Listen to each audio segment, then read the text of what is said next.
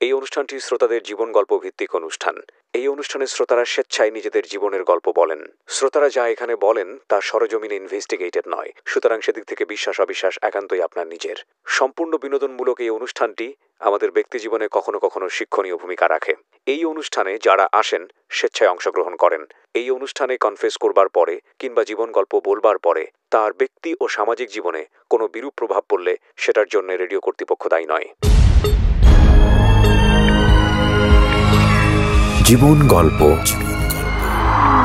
জীবন গল্প।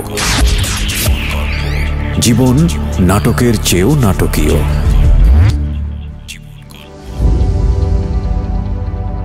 শুরু করছি প্রিয় শ্রোতা, আরও একটি আনকোরা এপিসোড আমি আরজি কিবরিয়া রয়েছে আপনার সঙ্গে এবং আপনারা শুনছেন Dhaka F M nine zero four, সারা দেশব্যাপী। যারা এই মুহূর্তে আমার সঙ্গে যোগ দিয়েছেন, একটু পরেই আমার যিনি গেস্ট তার সঙ্গে আপনাদের পরিচয় করিয়ে দেব। তার আগে আপনাদেরকে বলতে চাই, এই অনুষ্ঠানে যদি আপনি অংশগ্রহণ করতে চান, ফোন করবেন আমাদেরকে শূন্য নয় ছয় এক এক নয় শূন্য চার নয় শূন্য চার এই নাম্বারে। আমি আবারও বলছি, শূন্য নয় ছয় এক এক নয় শূন্য চার নয় শূন্য চার এই নাম্বারে। আরেকটি বিষয় সেটা হলো আরেকটি নতুন অনুষ্ঠান আমার শুরু হয়েছে রেডিও আম্বারে, একশো দুই দশমিক চার এফ এমে এটা যদি আপনি না টিউন করে থাকেন, radio Amber basically Dhaka FM এর সিস্টার কনসার্ন মানে দুই বোন বলা যেতে পারে। এবং যারা এই অনুষ্ঠানটি শোনেননি এখন পর্যন্ত microphone testing one zero two four এটা রেডিও আম্বার, একশো দুই দশমিক চারে। শনিবার ঠিক রাত দশটায় অনুষ্ঠানটি আপনারা শুনতে পাচ্ছেন এখন থেকে নিয়মিত। আচ্ছা একটু শুরুতেই পরিচিত হই আপনার সঙ্গে। আপনার নামটা একটু বলেন। যে আমার নাম মোহনা। মোহনা। এবং বয়স কত এই মুহূর্তে? টোয়েন্টি সেভেন টোয়েন্টি সেভেন পেশায় কী করছেন আপনি? এখন আমি মানে সে। অর্থে তেমন কিছু করছে না হাউস ওয়াইফ ওকে ঠিক আছে। এই অনুষ্ঠানটা শুনেই কি আপনি এখানে এসেছেন জীবন গল্প বলার জন্য নাকি কারোর দ্বারা অনুপ্রাণিত হয়েছেন বা কি আসলে ঘটনাটা কি? অনেক আগে ভাবতাম যে শেয়ার করব। হুম। তখন আমি অনেক দূরে থাকতাম। আচ্ছা। এখন আমি ঢাকাতে আসছি। সে কারণে এই সুযোগটা নিয়েছেন হ্যাঁ সুযোগ।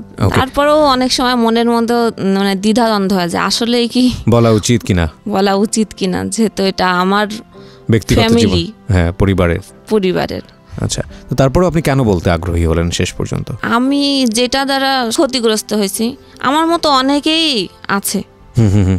বা অনেকেই প্রতারণা হয় কিন্তু তারা যেটা মানে অগাধ বিশ্বাস সেই বিশ্বাস থেকে হয়তো তারা বুঝতেও পারে না যে আমি প্রতারিত হচ্ছি কিনা। আচ্ছা আচ্ছা। তো সেই জায়গাটি থেকে আপনি মানুষকে সচেতন করার জন্য আজকে এখানে এসেছেন তাই তো?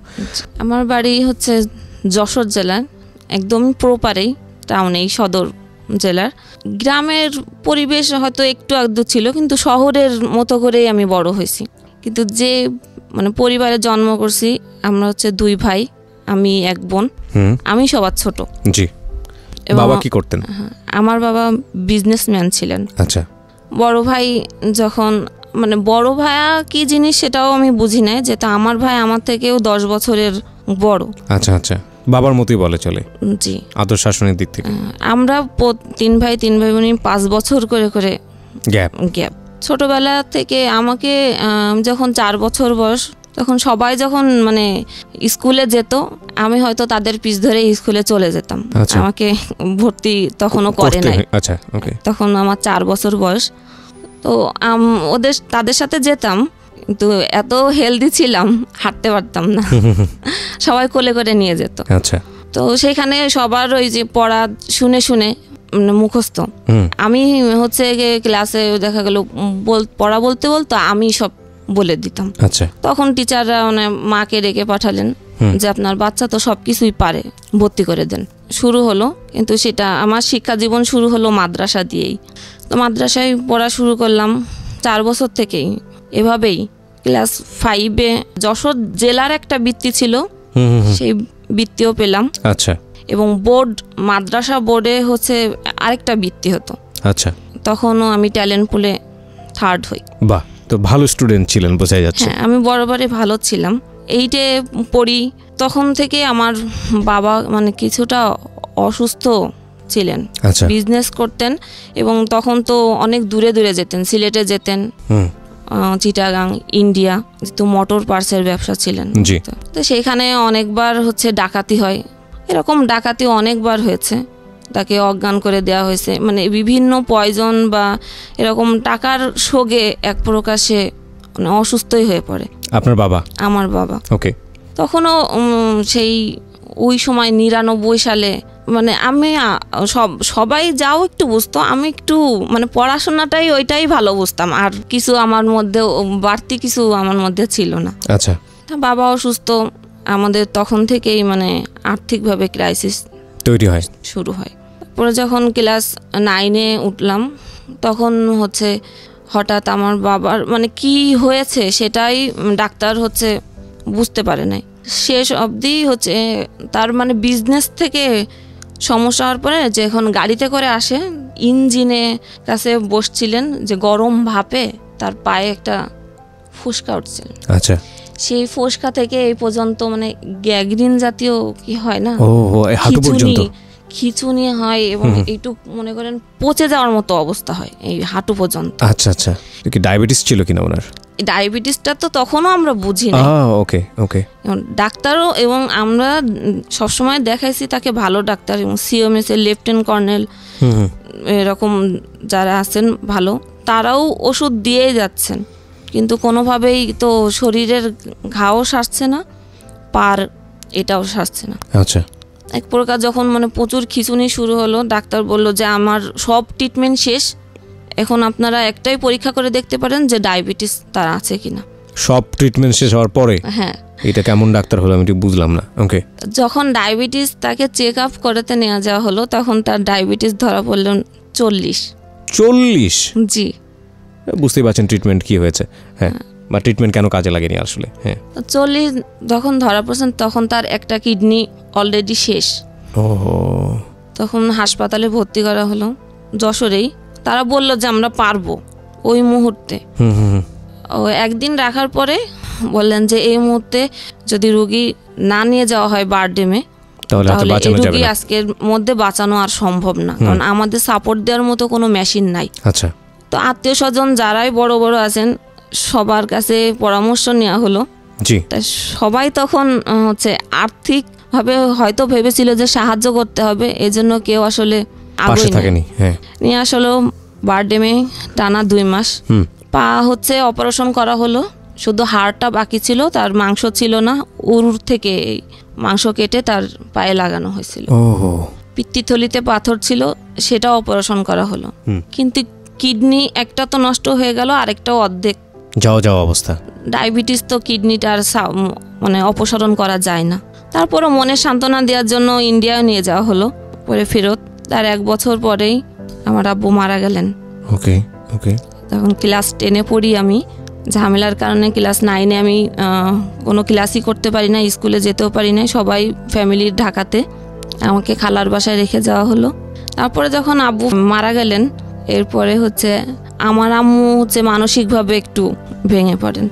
এবং সেও প্রচুর অসুস্থ হয়ে যায়। যাক, সেটা হচ্ছে আমাকে এখন মানে শুরু হলো যে আমাকে বিয়ে দিতে হবে। আমার আম্মু শরীরের অবস্থা ভালো না।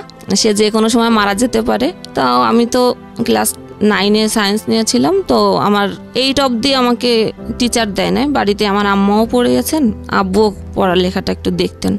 আমার জন্য বিয়ে দিবেন বাট আমার জন্য সেরকম পারফেক্ট ছেলে যে খুঁজতে হবে সেটা তারা করে নাই। আমার যে টিচার ছিলেন সে আমাকে আমার বোধ হয় যে সে কিছুটা মানে পছন্দ করতেন আমাকে। সে জানিয়েছিলেন আমার খালুকে যে হ্যাঁ আমি পছন্দ করি। তারপরে তার সাথেই আমাকে বিয়ে দেওয়া হলো।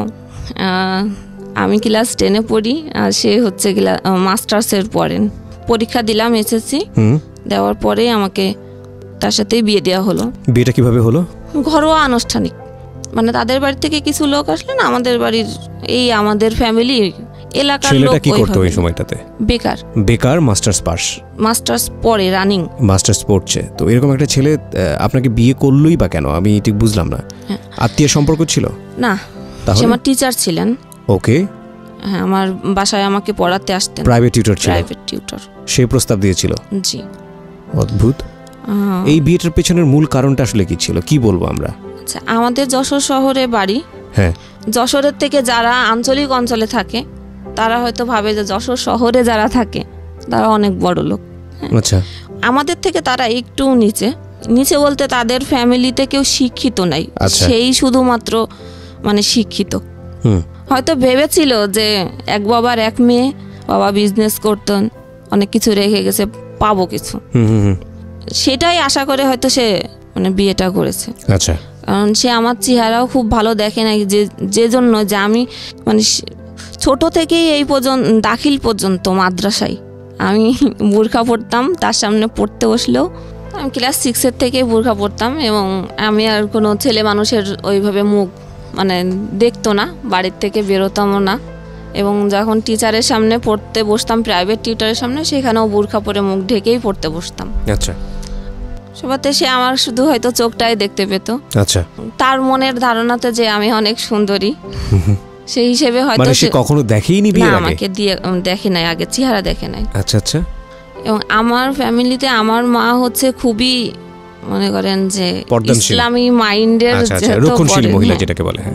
আমাদের বাড়িতে আগে থেকেও টিভি ছিল না এখন অবধি পর্যন্ত টিভি আমাদের বাড়িতে ঢোকে নাই। ওকে তার ধারণা টিভি দেখলে খারাপ হয়ে যায়। ওকে ওকে এমন গান টানও সে শোনা পছন্দ করে না। এই যাই হোক আমি যখন ক্লাস ফাইভে পড়ি আমার বড় ভাই তখন ঢাকাতে চলে আসছেন। আচ্ছা। তার সে চলে আসছিলেন তার কোনো খোঁজ খবর নেই। পরে আমি যখন ক্লাস এইটে পড়ি তখন জানতে পেরেছিলাম যে ভাইয়া বিয়ে করছে ঢাকাতে। ফ্যামিলি চলতো কীভাবে তাহলে? যে বাবার বিজনেস আর আমার আম্মা ঘরে টিউশনই করতেন। এইটা দিয়েই সংসার চলতো? জি। ওকে এর মাঝখানে আপনার বিয়ে হয়ে গেল। হ্যাঁ আমার ক্লাস এবং আপনার মতামত নেওয়ারও প্রয়োজন মনে করেনি না? আমি অনেকবার নিষেধ করেছিলাম মানে আমি সে আমার স্যার ঠিক আছে। হ্যাঁ। সে পড়াশোনায় ভালো ভালো স্টুডেন্ট সেটাও ঠিক আছে। কিন্তু আমার তো বিয়ের বয়স হয় নাই। আচ্ছা। এবং আমি বরাবরই যখন ভালো স্টুডেন্ট তখন আমার হয়তো একটা স্বপ্ন ছিল। যে আমি ভালো কিছু করব ভালো কিছু হব। ওকে। কিন্তু সে আমি কত বলেছি সালে এটা মনে আছে? প্রথম এই যে ঘটনাটা ঘটলো বিয়ের? আমার বিয়ে হয়েছে দুই হাজার পাঁচ সালে। দু হাজার পাঁচ সালে। ওকে আমরা এখান থেকে ফিরবো প্রিয় শ্রোতা। ছোট্ট একটা বিরতি নিচ্ছি। মাত্র কয়েক মিনিটের বিরতি। আশা করছি আমাদের সাথেই থাকবেন। আপনারা শুনছেন ঢাকা এফ এ জীবন গল্প আর জি কিপ্রিয়ার সাথে এবং এই অনুষ্ঠানটি ইউটিউবে আপলোড করা হয়েছে। আপনি চাইলে ওখান থেকে পুরোপুরি ডাউনলোড করে শুনতে পারেন। আমাদের ইউটিউবের ঠিকানা হচ্ছে W W W dot YouTube dot com slash D F M nine zero four আমি আবারও বলছি YouTube dot com slash D F M nine zero four subscribe বাটনে ক্লিক করবেন এবং ডান পাশে যে বেল বাটনটি আছে সেটা অন করে দেবেন। ফিরছি কয়েক মিনিট পর। জীবন গল্প। জীবন নাটকের চেয়েও নাটকীয়। জীবন গল্প।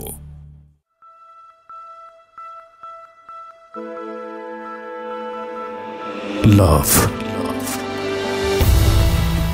hate challenge motivation Lies. Lies.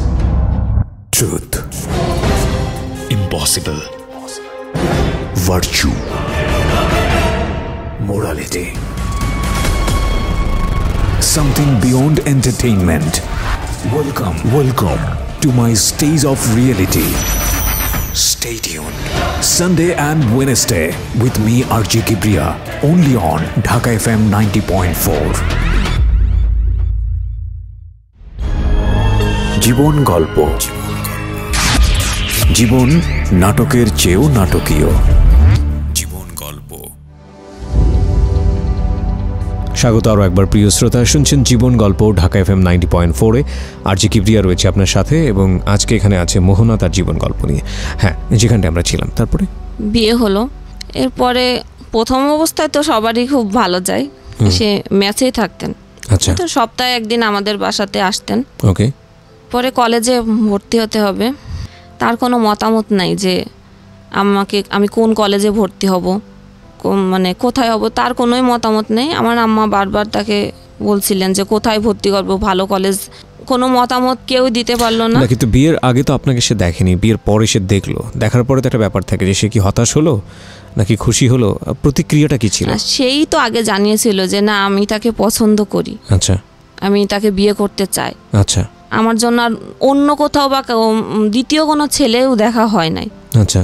তো বিয়ের পরে এখন মতামত না দেওয়ার পরে একেবারে যখন মানে ভর্তির লাস্ট পর্যায়ে আর কোথাও মানে ই নাই তখন একটা নাম করা না আবার একেবারেও খুব ভালো না একদম মানে সিরিয়ালের শেষের দিকে একটা কলেজের আমাকে ভর্তি করা হলো সেটা কম্বাইন্ড কলেজ এতদিন পড়েছিলাম হচ্ছে মহিলা মাদ্রাসাতে।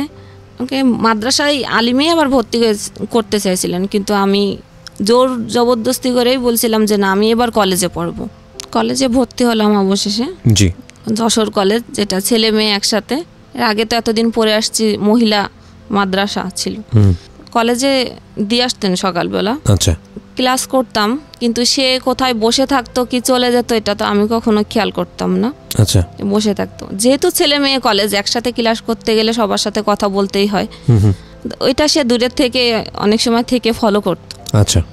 বাসায় যখন সে আসার সময়ও নিয়ে আসতো সাথে করে ক্লাস শেষ হয়ে গেলে। পাঁচ মিনিট যদি কলেজ থেকে বেরোতে দেরি হতো বাসায় এসে বলতো যে আমি ছেলেদের সাথে কথা বলি। পাঁচ মিনিট পরে কেন বেরোলাম। ভিতরে তাহলে কি করতেছিলাম? সন্দেহ করতো। সন্দেহ। আমি কিন্তু ছোট যখন আসলে বিয়ের আগে কি বিয়ে কি জিনিস আমি সেটাই কিন্তু বুঝতাম না। আচ্ছা। বিয়ের পরে একদিনের জন্য আমাকে আহ, শ্বশুরবাড়িতে নিয়ে যাওয়া হলো। আমি কি বুঝি না যে শ্বশুরবাড়িও তখনও কি? আমি যে আমার শাড়ি গেট আপ খুলে সন্ধ্যার সময় ছেলে পেলে অনেকে দেখলাম যে দড়ি লাভ খেলছে। আমিও কিন্তু সবার সাথে দড়ি লাভ খেলছি। ওকে ওকে তখন গ্রামের মানুষ তো ধারণা কত কিছুই তো বলে। যে বিয়ে করে আসছে দেখছ কীরকম মেয়ে বিয়ে করছে। কলেজে তো এই সমস্যা শুরু হলো। সমস্যা একটু একটু করে যে আমি সন্দেহ স্যারেরা শিক্ষক মিলনায়তন ছিল। হুম। কোনো কিছুর টিচারদের কাছে পড়ালেখার জন্য দরকার হতেই পারে। জি। স্যারেদের কাছে গেলেও সে দূরের থেকে তো দেখছেই। কিন্তু সেটা আমি ফলো করতাম না। বাসায় গেলে বল বলতে এটা করছ আজকে ওইটা করছ আজকে। আচ্ছা। টিচারদের কাছে তোমার এত কি? এটা আপনাকে জিজ্ঞেস করতে আপনার হ্যাঁ। হাজবেন্ড আচ্ছা। অফ টাইম ক্লাসের যখন অফ টাইম থাকে সবাই তো কমন রুমে যায় কেউ ক্রাম বোর্ড খেলে অনেক কিছুই করে। আমি তো কোনো খেলায় পারতাম না তাও খেলতাম সেটাও করা যাবে না। হুম। শুরু হলো মানে মানসিক একটা খারাপ লাগতো যে বিয়ে দিল আমাকে আমি মানে পড়াশোনা করব আমি সায়েন্সে পড়ি। সায়েন্সে পড়তে গেলে তো আমাকে সেইভাবে পড়তে হবে। এবং নতুন করে আমাকে আর টিচার দেয় নাই সেই আমাকে পড়াচ্ছে। আচ্ছা।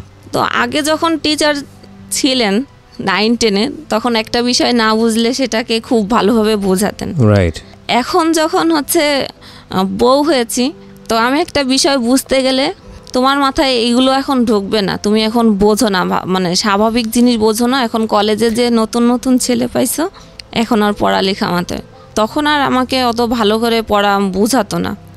ফেলে দিত বই খাতা মানে উচ্চতর গণিত করতে গেলে ওটা একটু হার্ড ছিল।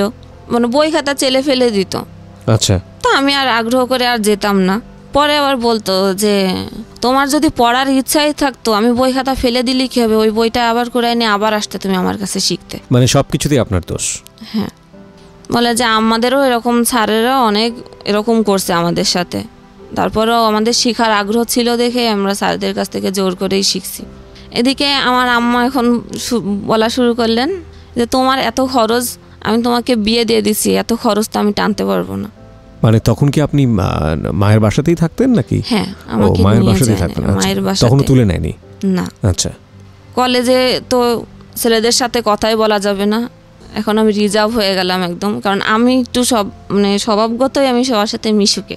কথা না বলতে পারলে ভালো লাগতো না। পড়াশোনায় আর ওইভাবে মন বসতো না। এই মানসিক প্রেশারে কলেজে যে আমি পড়া দিতে পারতাম না। জি। তখন আরও খারাপ লাগতো। স্যারেরা আরও বলতো যে তুমি এরকম কেন মানে হয়ে যাচ্ছ?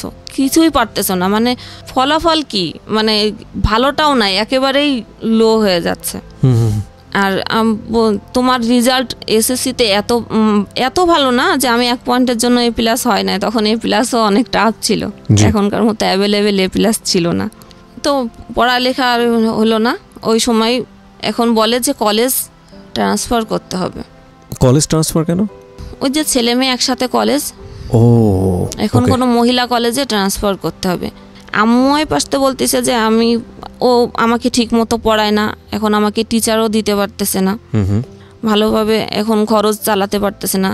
না এখন আমি কি করব? সেও বেকার। সেও আচ্ছা। তো আমাকে এক টাকাও দিতে পারছে না। রাইট আমি আর আর করার কিছু নাই। আমি তখন কি বললাম? আমি তাকে বললাম তাহলে কি করব? তাহলে তোমাদের বাড়িতে নিয়ে যাওয়া লাগবে। এখন যদি আমাকে কলেজ ট্রান্সফার করবে তাও যশোরে না তার বাড়ির ওদিকেই আচ্ছা তার বাড়ির ওদিকে কেন? যাতে সে মনিটর করতে পারে আর কি। হ্যাঁ। কি হচ্ছে না হচ্ছে? ওকে তার মাস্টার শেষ সে এখন বাড়ির দিকে চলে যাবে। জি। ফার্স্ট ইয়ার সে যখন মানে কলেজ ট্রান্সফার করবে তখন সেই সময়টাও আর নাই। যখন যশোর শিক্ষা বোর্ডে যাওয়া হলো বোর্ডে যে কাজটা করেন যে ম্যাডাম উনি আমাদের পরিচিতি ছিলেন। ম্যাডামকে যখন বলা হলো ম্যাডাম বলল ঠিক আছে আমি ব্যাক ডেটে আমি এটা করে দিচ্ছি। আচ্ছা। দিয়ে পাঠায় দিল সেই নপাড়া অভয়নগর থানা যশোর জেলার। ও মাই গড। ওকে তারপর?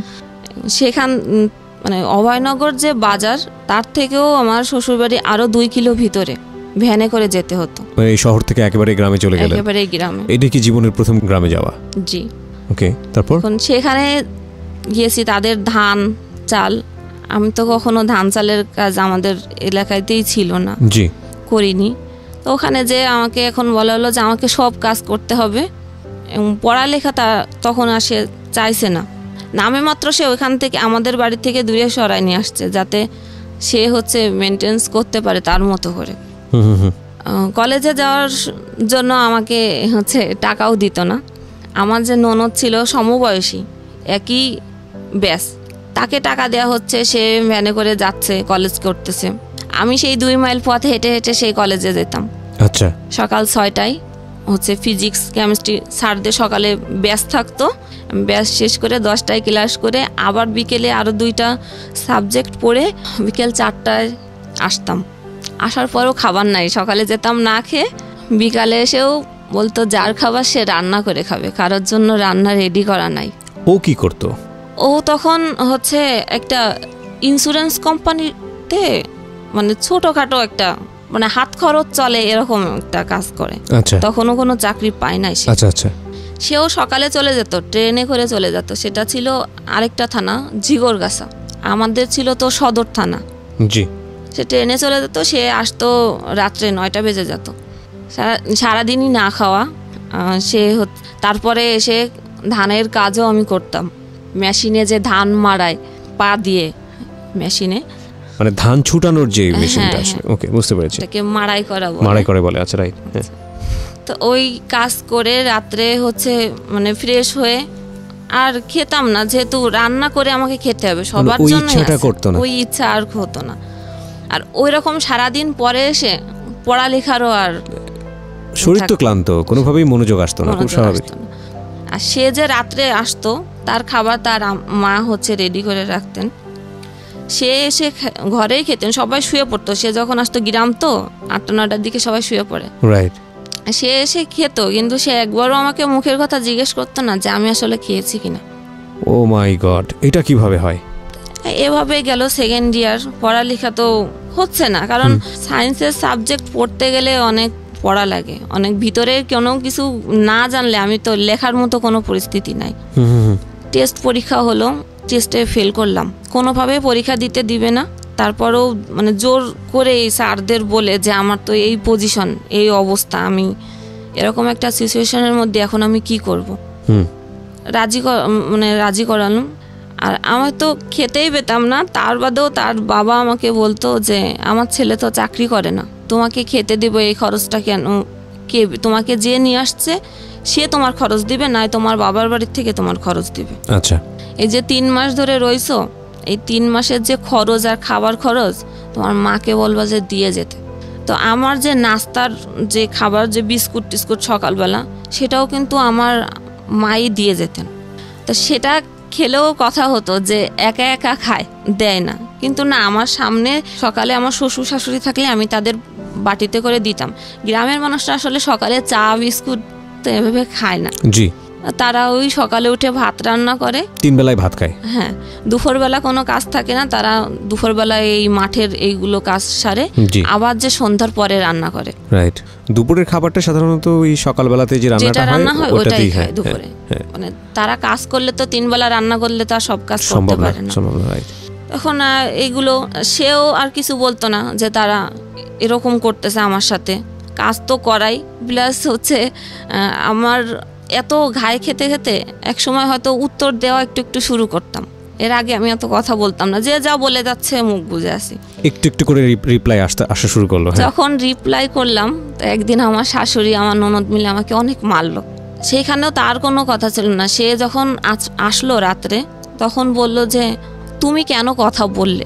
তুমি কথা বলছো দেখেই পরিস্থিতি এরকম হয়েছে। তোমার কথা বলার কোনো দরকার ছিল না। তুমি বউ তোমার গলা কেন উঠবে? তারপরে পরীক্ষা দিলাম টেস্টে তো ফেল করলাম। পরীক্ষা ইন্টার পরীক্ষাও হচ্ছে গিয়ে দিতে গেলাম। তাদের বাড়ি থেকেই না খেয়েই ফিজিক্স পরীক্ষা ছিল যেদিন। আমি হচ্ছে তিন দিন না খাওয়া। আচ্ছা। বোর্ড পরীক্ষা। আচ্ছা। তো পরীক্ষার হলে যাওয়ার পরে প্রশ্ন হাতে নিয়ে আমার আর সেন্স ছিল না। ওহো। আমি লিখব কি? মানে অ্যাটেন্ড হয়েছে আর পরীক্ষায় দিনে পরের পরীক্ষা দেওয়ার পরে তো ফেলই আসছে। মানে ফিজিক্স আর কেমিস্ট্রিতে আমার ফেল আসছে। সব সাবজেক্টেই হয়েছে মানে ভালো না থ্রি পয়েন্ট পাস কোনো রকম পঁয়তাল্লিশ পঁয়তাল্লিশ করে মার্ক তো তার মানে আপনি ফাইনালি এসএসসি পরীক্ষায় ফেল করলেন তাই কি? হ্যাঁ। এটা কি পরীক্ষা ছিল? এটা ইন্টার এইচএসসি ও এইচএসসি ছিল তার মানে আপনি ইন্টার পরীক্ষায় ফেল করলেন। আমরা বিরতি নেব আরেকটা প্রিয় শ্রোতা, ছোট্ট একটা বিরতি। গল্পটা কিন্তু কেবল শুরু হয়েছে হ্যাঁ? এবং ঘাত প্রতিঘাত আছে, বিভিন্ন বাঁক আছে। এই বাঁকের দাঁড়ায় কোথায় গিয়ে? সেটা আসলে অচিন্তনীয় এবং সবসময় আমরা যে কথাটা বলি, জীবন নাটকের চেয়েও নাটকীয়, অনুমান করা যায় না আসলে গল্পটা কোথায় গিয়ে দাঁড়াবে। ছোট্ট একটা বিরতি। ফিরছি। একটু পরে আর আরেকটি জিনিস মনে করিয়ে দিই। এই অনুষ্ঠানটি আপনি চাইলে ইউটিউব থেকে ডাউনলোড করতে পারেন। আমাদের ইউটিউবের ঠিকানা হচ্ছে W W W dot YouTube dot com slash nine zero four আমি আবারও বলছি YouTube dot com slash nine zero four please চ্যানেলটিতে সাবস্ক্রাইব করতে ভুলবেন না এবং একই সাথে বেল বাটনটি অন করে নেবেন। ফিরে আসছি কয়েক মিনিট পর। জীবন গল্প। জীবন নাটকের চেয়েও নাটকীয়।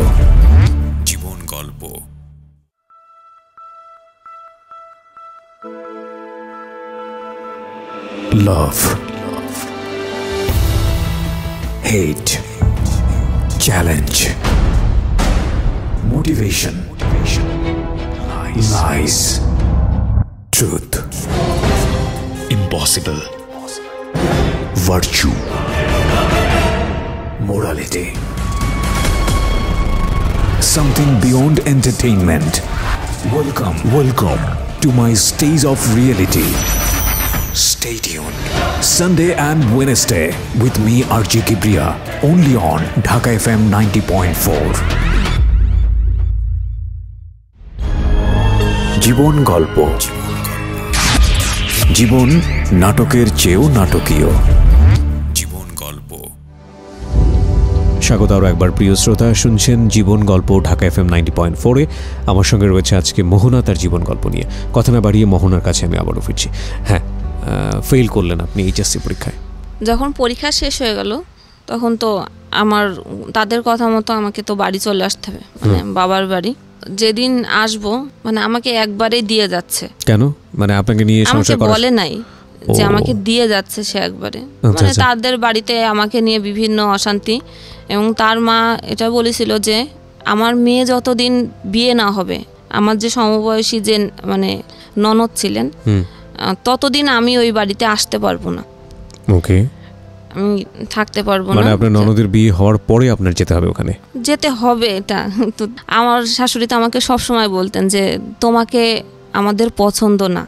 যে পছন্দ করছে তুমি তার সাথে সবকিছু বুঝে নিও। ওকে ওকে তারপর? তা যেদিন মানে গোছানো হয়ে গেছে তো আমি যদিও আমার সাথে এরকম করতো তাও আমি একটু কেন যেন ভালো না আমার অনেক মানে আগে ভালোবাসি না এভাবে কিন্তু এখন একটু টান হয়েছে আমি তাকে ছাড়া মানে কোথাও যেতে চেতাম না। শাশুড়িকে না আমার হাজবেন্ড হাজবেন্ডকে ছাড়া। ওকে। এখন আমাকে দিয়ে আসবে আমি তাকে বারবার বলতেছি যে আমি যশোরে মানে সে অফিসে যাবে আমাকে মানে যশোর স্টেশনে ড্রপ দিয়ে নামাই দিবে। কিন্তু সে ওই ট্রেনে চলে যাবে মানে ঝিগরগাছা। আচ্ছা। আমি বলেছি যে না আমি এভাবে যাব না। আমাকে নিয়ে গেলে সাথে করেই আমার বাড়িতে নিয়ে যেতে হবে। আর আমি আমি তো জানি না যে আমি যে কয়দিন থাকি তুমি হচ্ছে মানে ঝিগরগাছা থেকে যশোর কাছে। যশোর থুয়ে তারপরে অভয়নগর। তা আমাদের এখানে ক- মানে কিছুদিন থাকো। তারপর আবার একবারে চলে যাব। সে কোনোভাবে মানে রাজি হচ্ছে না। যে আমাদের বাড়িতে সে যাবে না। আচ্ছা। ইভেন সে আমাকেও দিয়ে আসতে যাবে না সে স্টেশনে আমাকে নামায় দিবে। আচ্ছা। তা আমি তখন একটু জেদ করেই বসলাম যে তাহলে আমি দরজায় যে তালা লাগাবে আমি তালাটা দিব না তালা আমার হাতে তালার চাবি তখন মানে সে আমাকে মানে মারে। মারলে আমি রাগেরই শেষে তালাটা আমি চেলে দিছিলাম। দেওয়ার ছুঁড়ে দেওয়ার পরে তালাটা যে তার কপালে লাগে। আচ্ছা। কপালে লাগলে এখান থেকে মনে করেন ব্লাড বেরোতে থাকে। ব্লাড বের হয়। এখানে একটু ব্লাড বের তো সে তো বাড়ির মানে পরিস্থিতি তো আর গ্রামের মনে কারণ আশেপাশের বাড়িতে যারা আছে মানে সবাই চলে আসছে চিল্লা চিল্লিতে যে বউ মাথা ফেরে ফেলেছে। হ্যাঁ। আচ্ছা। পরিস্থিতি এতই খারাপ তখন ফোন দিছে আমার বাড়ি থেকে আমার আম্মাকে যে আপনার মেয়েকে এসে নিয়ে যান। আমি আপনার মেয়েকে দিয়ে আসতেও পারব না কিছু করতে পারব না। তা আমার আম্মার তখন নাকি অনেক জ্বর ছিল। সে আসতে পারে বলছে যে আমার তো ওঠার মতো পরিস্থিতি নাই। তাহলে তুমি বাজারে নিয়ে যে একটু বাসেই উঠাই দাও। আচ্ছা। বলছে যে না আমি সেটাও পারব না। আপনাকে এইখানে এসে নিয়ে যাওয়া লাগবে। তারপরে হচ্ছে মানে কি বলব? আমার তো তখন কথা ওইভাবে বেরোতে আছে। তার বোন তার মা আশেপাশের লোকজন মানে সবাই মনে করেন আমাকে একেবারে তুলা ধোনা যেটাকে বলে। আমি তখন হচ্ছে কথা যখন বেশি কথা বলা শুরু করলাম তখন আমি বোরখা পরা ছিলাম বোরখার যে ইস্কাফের ওড়না তখন সে আমাকে ওই ওড়না দিয়ে গাছের সাথে বেঁধে রাখল। আপনার হাজবেন্ড হ্যাঁ। এরপরে আমার এত মানে সিরিয়াস অবস্থা শুরু করল আমার মা আসতে ওই অসুস্থ অবস্থায় বাধ্য হলো। তা আমার আম্মা এসে একটা কথাও সে বলে নেয় যে কি হয়েছে? বা কেন হলো? কি জন্য হলো? সে কোনো কথাই বলে নাই। আমার ব্যাগ গোছানো ছিল। এসে আমার আম্মাও ব্যাগটা নিয়ে বলতেছে যে চল। আর কিছুই তাকে মানে তাকেও বলে নাই তার কিন্তু তারা তো সেই চিল্লাচিল্লি করতেছে আমার মা কোনো কথা বলতে চায় নাই। তো যাওয়ার সময় তাহলে বলতেছে যে আমার বাড়ির থেকেই মানে ফার্নিচার দিয়েছিল কিছু। জি। ওই তোষক বালিশ এইগুলো চেলে চেলে ফেলায় দিচ্ছে যে এইগুলোও নিয়ে যান কিছুই লাগবে না। ওকে। আমার আমার কোনো কথা না বলে শুধু বই খাতাগুলো বস্তার মধ্যে ভরে নিয়ে চলে আসলেন। এরপরে আসি যশোরে আমার সাথে টোটাল আর সাত মাস কোনো যোগাযোগ নেই। ইন দ্য মিন টাইম কি মা আপনাকে জিজ্ঞেস করেছে যে কি হয়েছে কিনা বা কোনো সমস্যা? হ্যাঁ জিজ্ঞেস করছে যে এরকম কথা কাটাকাটি হয়েছে বা আমি তাকে সাথে নিয়ে আসতে চাইছি আসতে চাই না দেখে আমি তালাটা আসলে ওকে মারার উদ্দেশ্য দিই নাই। আমি রাগ করেই দিয়েছিলাম যে কপালে লেগে গেছে। বাড়ি আসলাম কোনো যোগাযোগ নাই। এর মধ্যে হচ্ছে সে হচ্ছে ঝিগর গাছাতে শুনলাম বাসা নিছে আচ্ছা। ফার্নিচার যেগুলো আমার বাড়ি থেকে দেওয়া হয়েছিল ওইগুলোই সে নিয়ে যে জিগর গাছাতে বাসা নিয়ে সে একা একা ওইখানে থেকেই অফিস করে। আমি তো হচ্ছে রেজাল্ট বেরোলো তা তো বললাম ফেল এরপরে তো আমাকে আবার পড়া শুরু করতে হবে। কলেজ তো সেই দূরেই পড়ে গেল এখন আবার। কলেজ কাছে হচ্ছে না হ্যাঁ। এখন তাদের বাড়িতে তো আর থাকার পরিস্থিতি নাই। এখন আমাকে দেওয়া হলো কলেজের হোস্টেলে হুম। ওখানে থেকে পড়া শুরু করলাম আবার। কিন্তু তাও হচ্ছে পড়ায় আর মন বসতো না। সবসময় মাথায় এইগুলোই কাজ করতো যে কেন হলো? আর এগুলো তো হওয়ার মানে মানে আপনার লাইফে কারণ আমি যে পরিবেশ থেকে বড় হয়ে পর্যন্ত আসছি এরকম কোনো হওয়ার তো কোনো মানে আশাও করা যায় না।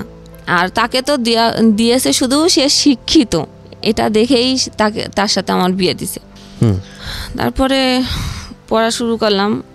পড়ায়। মন হ্যাঁ পড়ায় যখন মন বসতো না তখন আমার এই অবস্থা, খোঁজ নিত না টোটাল তখন আমার আম্মা হচ্ছে, ওই যে বললাম যে একটু হুজুরি মন মানসিকা তো, সে একজন হুজুরকে দেখাইছিলেন যে আমার মেয়ের তো এরকম সংসারের এই অবস্থা, তা কোনো ব্যবস্থা মানে করা যায় কিনা তো তারা দেখে দেখে বললেন যে এটা তার শ্বশুর বাড়ির থেকে এরকম জাদুটোনা করে না, এরকম কিছু করছে।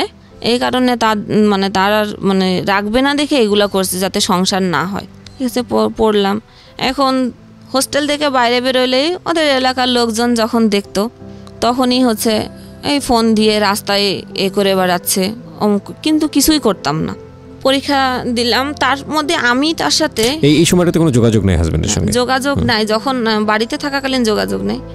যখন হোস্টেলে দেওয়া হলো তারপরে আমি আমার রুমে যে মেয়ে ছিল তার কাছ থেকে ফোন নিয়ে আমি তাকে তার সাথে যোগাযোগ করেছিলাম। যোগাযোগ করে আমি একদিন যোগাযোগটা কেন করলেন? কেন জানি মনে পড়তেছিল। মানে ওকে খুব মিস করছিলেন। হ্যাঁ। ওকে। সাত মাস পর। সাত মাস পর।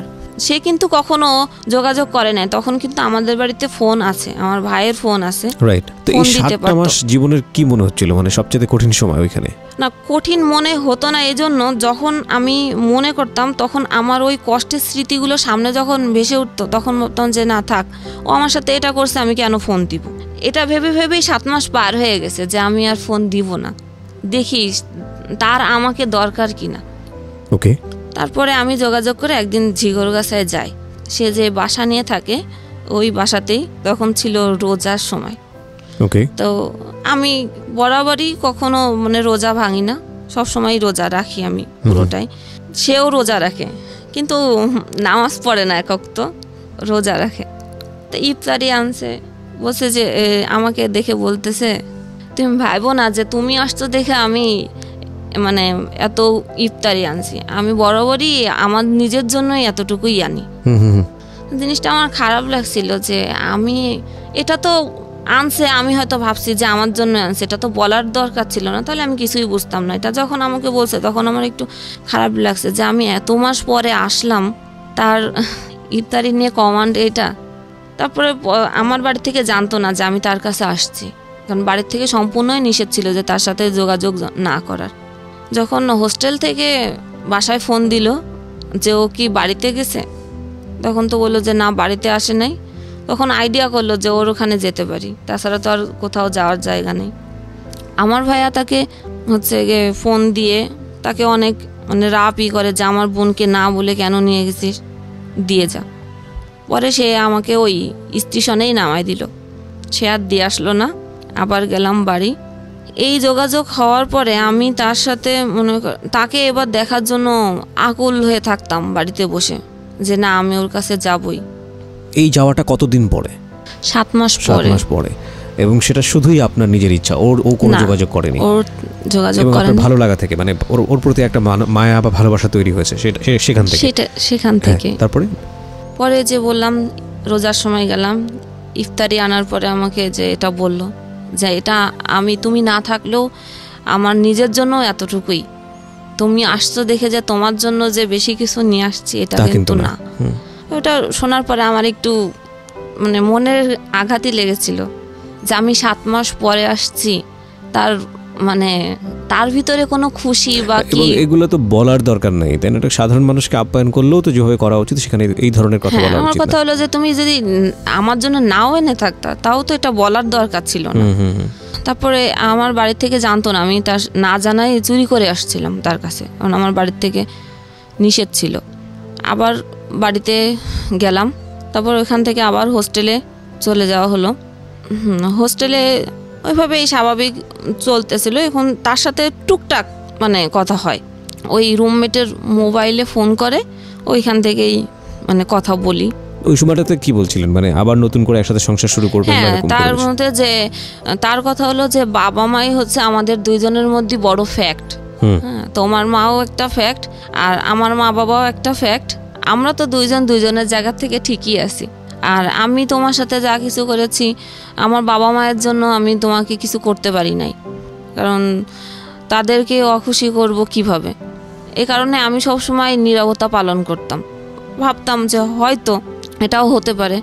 তারপরে হচ্ছে সে চাকরি পেল ইউনিয়ন পরিষদ সচিব। আচ্ছা। সেখানে তার প্রথম পোস্টিং হলো যশোরের মনিরামপুর থানা। আচ্ছা। সেখানে সে বাসা নিল। আমি তো হোস্টেলেই আছি। আমাকে বলল যে এরকম আমি বাসা নিচ্ছি আমার বাসায় এসে দেখে যেও। হুম। তো আমি আচ্ছা ঠিক আছে একদিন যাব। আমাকে ঠিকানা দিল যে এরকম এরকম। তো একদিন সকাল বেলায় আমি মানে বৃহস্পতিবার হলে সবাই বাড়ি চলে যেত। তা আমিও বৃহস্পতিবার বাড়ির নাম বলে আমি রওনা দিয়েছি। অভয়নগর থেকে ওইখান থেকে ভিতরের থেকে মনিরামপুর যাওয়ার অনেক কাছে। আমি ভোরবেলা যে হাজির হলাম সেই ঠিকানা মতো নক করলাম দেখলাম সে ঘুমের থেকে উঠছে। তা বলল যে "ঠিক- আসতো তো থাকো। থাকতে বলছে আমি একবারেই থেকে গেছি।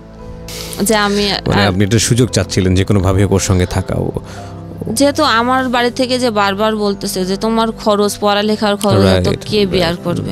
এখন সে চাকরি পাইছে। তাকে বলো থাকলাম সেইখানে। সেই যে মানে আমাকে আনার আগে যে ফোনে যেই কথা যে যতটুকু ভালোভাবে যে আমরা আবার এক হব বা যেই ভালো যে আমাদের কোনো আমরাই ঠিক আছি। বাবা মার ফ্যাক্ট ছিল কোনো সমস্যা না। থাকলাম সেই পুরনো এগুলো আবার নতুন করে আবার শুরু নতুন করে আবার শুরু হলো।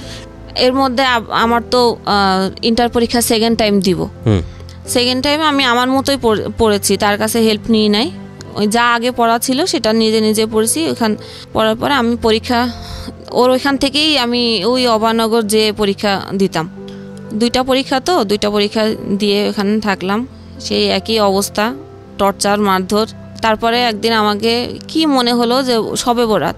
যে চলো সবে বরাতে একা একা নামাজ পড়বা? তোমাকে দিয়ে আসি যশোরে। যশোরে হচ্ছে খুব ভালোভাবে, এত মিষ্টি করে যে দিয়ে আসলো আমাকে। আমের সময় ছিল, আম টাম কিনে দিল। ওই যে দেওয়ার দেওয়ার পরে আর কোনো যোগাযোগ নেই। আমাকে বলল যে সে যে তুমি হচ্ছে সুজির বরফি বানাও আমি সন্ধ্যার সময় আসব। সেই সন্ধ্যা আর হয় নাই। সে আর আসলো না। তাকে ফোন করা হলো। হ্যাঁ। যে কোনোভাবেই বলল যে না আমি যাব না তোমাদের বাড়িতে। গেলে তোমার মা এসেই বলে আমি যাব না। তুমি এখানেই থাকো। আমার বাসায় আসার দরকার নেই।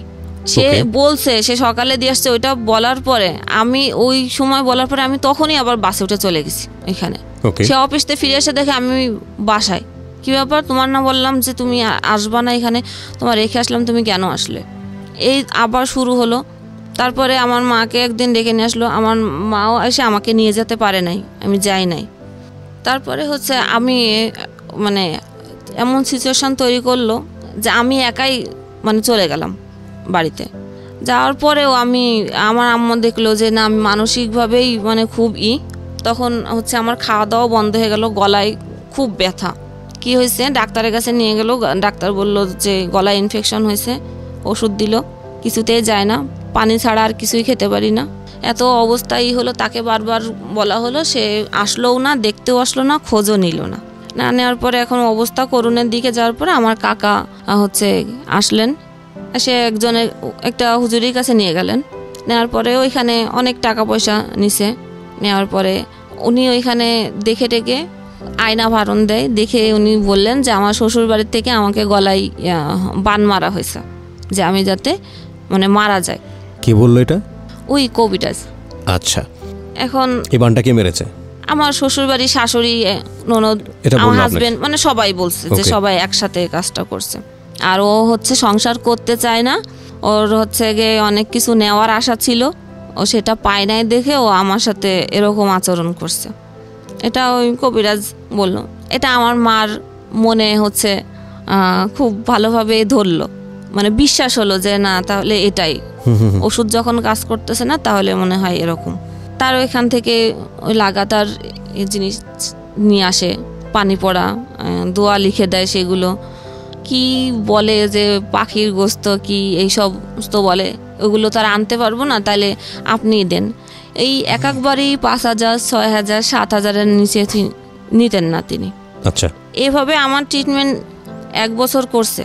হুম। তারপরে বলল যে আপনার মেয়ে মেন্টালিভাবে ভালো নাই আর ও যেতে চাইলো আর আপনার ওইখানে যেতে দিয়েন না। এখন যখন মানে একটু বলতাম যে আমি যাব এখানে। আমি কেন আমার সাথে এটা করল? আমি এটা শুনবই, করব। আমি ওইখানে যাবই। তখন ওই যে বলছে যে, আর যেতে দিয়েন না। আমি যখন জোর করলাম, তখন আমাকে বাড়ি থেকে শিকল দিয়ে বেঁধে রাখা হলো। মানে আমাকে যেতে দিবে না। কোনোভাবে যদি আমি চলে যাই, এ কারণে। এরকম তার কাছ থেকে ট্রিটমেন্ট করতে হতে এক লাখ টাকা খরচ করছে আমার মা। এই তাবিজ যে রিসে গেল রেজাল্ট বেরোলো। গড়ে মিলে হচ্ছে বি গ্রেড মানে থ্রি পয়েন্ট সামথিং এরকম। এ মাইনাস আর হলো না এ মাইনাস এক্সপেক্ট করেছিলাম যে হতে পারে, তারপরে হলো না। এরপরে হচ্ছে ফ্যামিলির থেকে বলল যে, তোমার তো এখানে আর যাওয়া যাবে না, তুমি হচ্ছে গিয়ে ডিভোর্স করে দাও। আমি কোনোভাবেই ডিভোর্স করতে রাজি হইনি। তারপরও বারবার আমার মা বলল যে, এখানে তোমার তাবিজ করতেছে, মেরে ফেলবে, তুমি মরে যাবা। তার থেকে ভালো তুমি ডিভোর্স করে দাও। আমি ডিভোর্স করতেই চাই না, তারপরে জোর জবরদস্তি করে তাদের ফ্যামিলির থেকে ডাকা হলো। তারা আসলো অনেকেই। আর আমার ছোট ভাই চাকরি করতেন একটা পত্রিকাতে। সেইখানেও হচ্ছে সবাইকে ডেকে। তাদের কোনো কথা বলার স্কোপ দেওয়া হলো না। ডাইরেক্টই আমাদের বাড়ি থেকে কথা যে আমরা আর মেয়ে দিব না। সব কিছু রেডি করা আছে কাগজপত্র সিগনেচার হয়ে যাক। তো হয়ে গেল, আমি আমার মতে করে ফেললাম। করার পরে আমি বাড়িতে হচ্ছে খুব মানে মানসিকভাবে ভেঙে গেলাম। এতটাই আমি মানসিকভাবে ই হয়ে গেলাম যে আমি আম্মাকেও ঠিক মতো ভালোভাবে চিনতে পারতেছিলাম না। এরপরে নিয়ে যাওয়া হলো যে মানসিকভাবে যখন চিনতে পারতেছি না, কাউকে ভালো মতো কথা বলতে পারতেছি না, ডাক্তারের কাছে ডাক মানে মেন্টালি যে ডাক্তার থাকে, পাবনার ডাক্তার যেটা হেমায়তপুর থেকে আসতেন যশোরে, সেখানে দেখানো হলো। ডাক্তার সেখানে ট্রিটমেন্টের মধ্যে কি ওষুধ দিতেন জানেন না শুধু ওষুধ খেয়ে ঘুমই হতো ঘুমাই থাকতাম। তারপরে আস্তে আস্তে যখন ঘুমের ওষুধটাও এক প্রকার একশো সময় মনে হতো যে এটা না খেলে আমার ঘুম হচ্ছে না। নেশার মতো ওটা নেশার মতো হয়ে গেলো। তখন আমি আমার নিজের থেকে আমি এটা বাদ দেওয়ার চেষ্টা করলাম। কিন্তু আমি বাদ দেওয়ার চেষ্টা করলে আমার মানে বাসার থেকে জোর করে খাওয়াই দেওয়া হতো। যে না ও ঘুমায় থাকো। এরপরে ভাবা শুরু করলাম যে কি করা যায়। নিজেকে তো আর এইভাবে বসায় রাখলে তো হবে না। আমি যদি এই দুইটা সার্টিফিকেট নিয়ে আমার ব্যাকগ্রাউন্ড এটা হলো, আমার ডিভোর্স হয়ে গেল, এইটা নিয়ে আমি এখন কোথায় যাব? এমনিতেই আমাকে পড়ার খরচ দিতেই চায় না। কোনো রকম শেষ করলাম। যেখানে এক্সপেক্ট ছিল যে ইন্টার শেষ করে আমি মেডিকেলে একটা চান্স নিব। যেহেতু আমার বান্ধবীরা সবাই হচ্ছে মেডিকেলে চান্স পেয়েছে। সেখানে ফার্স্ট টাইম ওরা চান্স পেয়েছে আমি সেকেন্ড টাইম ওদের পিছে পড়ে গেলাম সে তো আমি হয়তো পাবো। কিন্তু রেজাল্ট ভালো না থাকার কারণে আমার আর সেটা সুযোগ হলো না। তখন ভর্তি পরীক্ষার জন্য ট্রাই করা শুরু করলাম। আর নিজেকে এন্টারটেনমেন্ট দেওয়ার জন্য বাড়িতে তো টিভি ছিল না। ওখানে যশোরে শুধু এফ এম শোনা যেত দুইটা স্টেশন এন্টারটেনমেন্টের জন্য আমি রেডিও এফ এম শুনতাম। ওকে গান শুনতাম। আমার ফ্যামিলির থেকে তো এটা নিষিদ্ধ ছিল? নিষিদ্ধ ছিল। অনেক হেডফোন কেটে কেটে ফেলে দেওয়া হয়েছে। আমি এমন একটা অ্যাডিক্টেড হয়ে গেছিলাম এফএম এর প্রতি যে আমি ঘুমাইতেও এই গানে সবসময় থাকতো? কানে থাকতো। আচ্ছা আমরা বিরতি নেব এখানে। প্রিয় শ্রোতা ছোট্ট একটা বিরতি। বিরতির পর আবারও ফিরে আসছি ঠিক রাত বারোটায়। এই ফাঁকে প্রিয় শ্রোতা আপনাদের সবাইকে জানিয়ে রাখছি ইতিমধ্যেই শুরু হয়েছে রেডিও আম্বার একশো দুই দশমিক চার এফ এমে আমার একটি নতুন শো। যে অনুষ্ঠানটির কথা হয়তো বা অনেকেই জানেন। মাইক্রোফোন টেস্টিং ওয়ান যেখানে বাংলাদেশের ছড়িয়ে ছিটিয়ে থাকা অসম্ভব প্রতিভাবান শিল্পী যারা আছেন, যারা কোথাও কোনো ফ্লোর পান না, কিন্তু খুব ভালো গান, তাদের সুযোগ ঘটছে একটা অনুষ্ঠানে, একটা এপিসোডে নিজেকে প্রকাশ করবার। আপনি যদি খুব ভালো গান করেন এবং আপনি যদি মনে করেন এই অনুষ্ঠানটিতে আপনি অংশগ্রহণ করবেন, তাহলে এই নাম্বারটিতে ফোন দিতে হবে এবং নাম্বারটিতে ফোন দিয়ে ফোন থেকে আপনি যে নির্দেশনা পাবেন, সেই অনুসারে আপনি কাজটি করবেন। ফোন নাম্বারটি হচ্ছে zero nine six double one zero zero one zero two four. আমি বাংলায় বলছি এবং ধীরে ধীরে বলছি।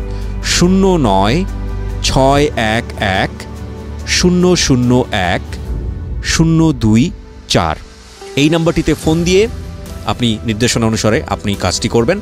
আর এমনও হতে পারে এই অনুষ্ঠানের মধ্য দিয়ে সারা বাংলাদেশ আপনাকে অন্যভাবে চিনবে। সো অপেক্ষা করছি আপনার কলের। জীবন গল্প।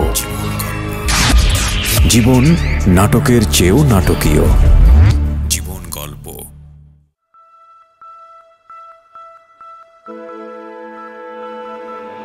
Love hate challenge motivation lies truth impossible virtue, morality. Something beyond entertainment. Welcome, welcome to my stage of reality. Stay tuned.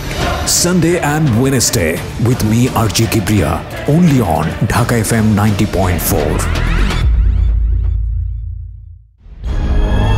জীবন গল্প জীবন নাটকের চেয়েও নাটকীয় স্বাগত আর একবার শুনছেন জীবন গল্প Dhaka F M ninety point ফোরে আজকে একেবারে শান্ত একটা জীবন গল্প কিন্তু কোথায় যেন এক অশান্ত অনুভূতি। মোহনার কাছে ফিরছে আবারও। হ্যাঁ মোহনা তারপর? এরপরে ভর্তি পরীক্ষা দিলাম বিভিন্ন ভার্সিটিতে। আলটিমেটলি আমার জগন্নাথ ভার্সিটিতে চান্স হলো। হুম। কিন্তু বাড়ির থেকে কোনোভাবে আমাকে দিল না ভর্তি করে। আচ্ছা। না দেওয়ার পরে আমি কবিরাজি ট্রিটমেন্ট চলছে এদিকে? হ্যাঁ চলছে এগুলো। এগুলোর প্রতি আমি বিরক্ত ছিলাম। কিন্তু উপায় ছিল না। উপায় ছিল না। যেহেতু পানি পানি খাব সেই পানির মধ্যে হয়তো মিশাই দিয়ে রাখতো। আচ্ছা। খাবারের মধ্যে। এটার মূল কারণটা কি ছিল যে আমাকে যে কিছু একটা করা হয়েছে উল্টাপাল্টা সে কারণে তোমাকে হ্যাঁ, হচ্ছে আর আমি এত কিছু আমার সাথে করার পরেও আমি তার প্রতি অ্যাডিক্টেড কেন? আমি বারবার কেন তার কাছে ছুটে যাই? তোমরা তো চাচ্ছিলে এক হতে আলটিমেটলি ও হ্যাঁ। চাচ্ছিল না নাকি তুমি চাচ্ছিলে শুধু? তার কথা হলো যে সে কেন ডিভোর্স দিবে? সে কখনোই মুখ থেকে এটা বলবে না। তাহলে তো তার অনেক টাকা দেওয়া লাগবে? দেওয়া- তারা আসছিল। হ্যাঁ। কিন্তু আমাদের ইসের থেকে তাদের কোনো স্কোপ দেওয়া হয় নাই। আচ্ছা আচ্ছা। না দেওয়ার কারণে মিউচুয়াল যে সামনাসামনি আমার প্রশ্নটা হচ্ছে যে আকর্ষণীয় জায়গাটা কি শুধু তোমার জায়গাটা থেকে ছিল নাকি তারও ছিল?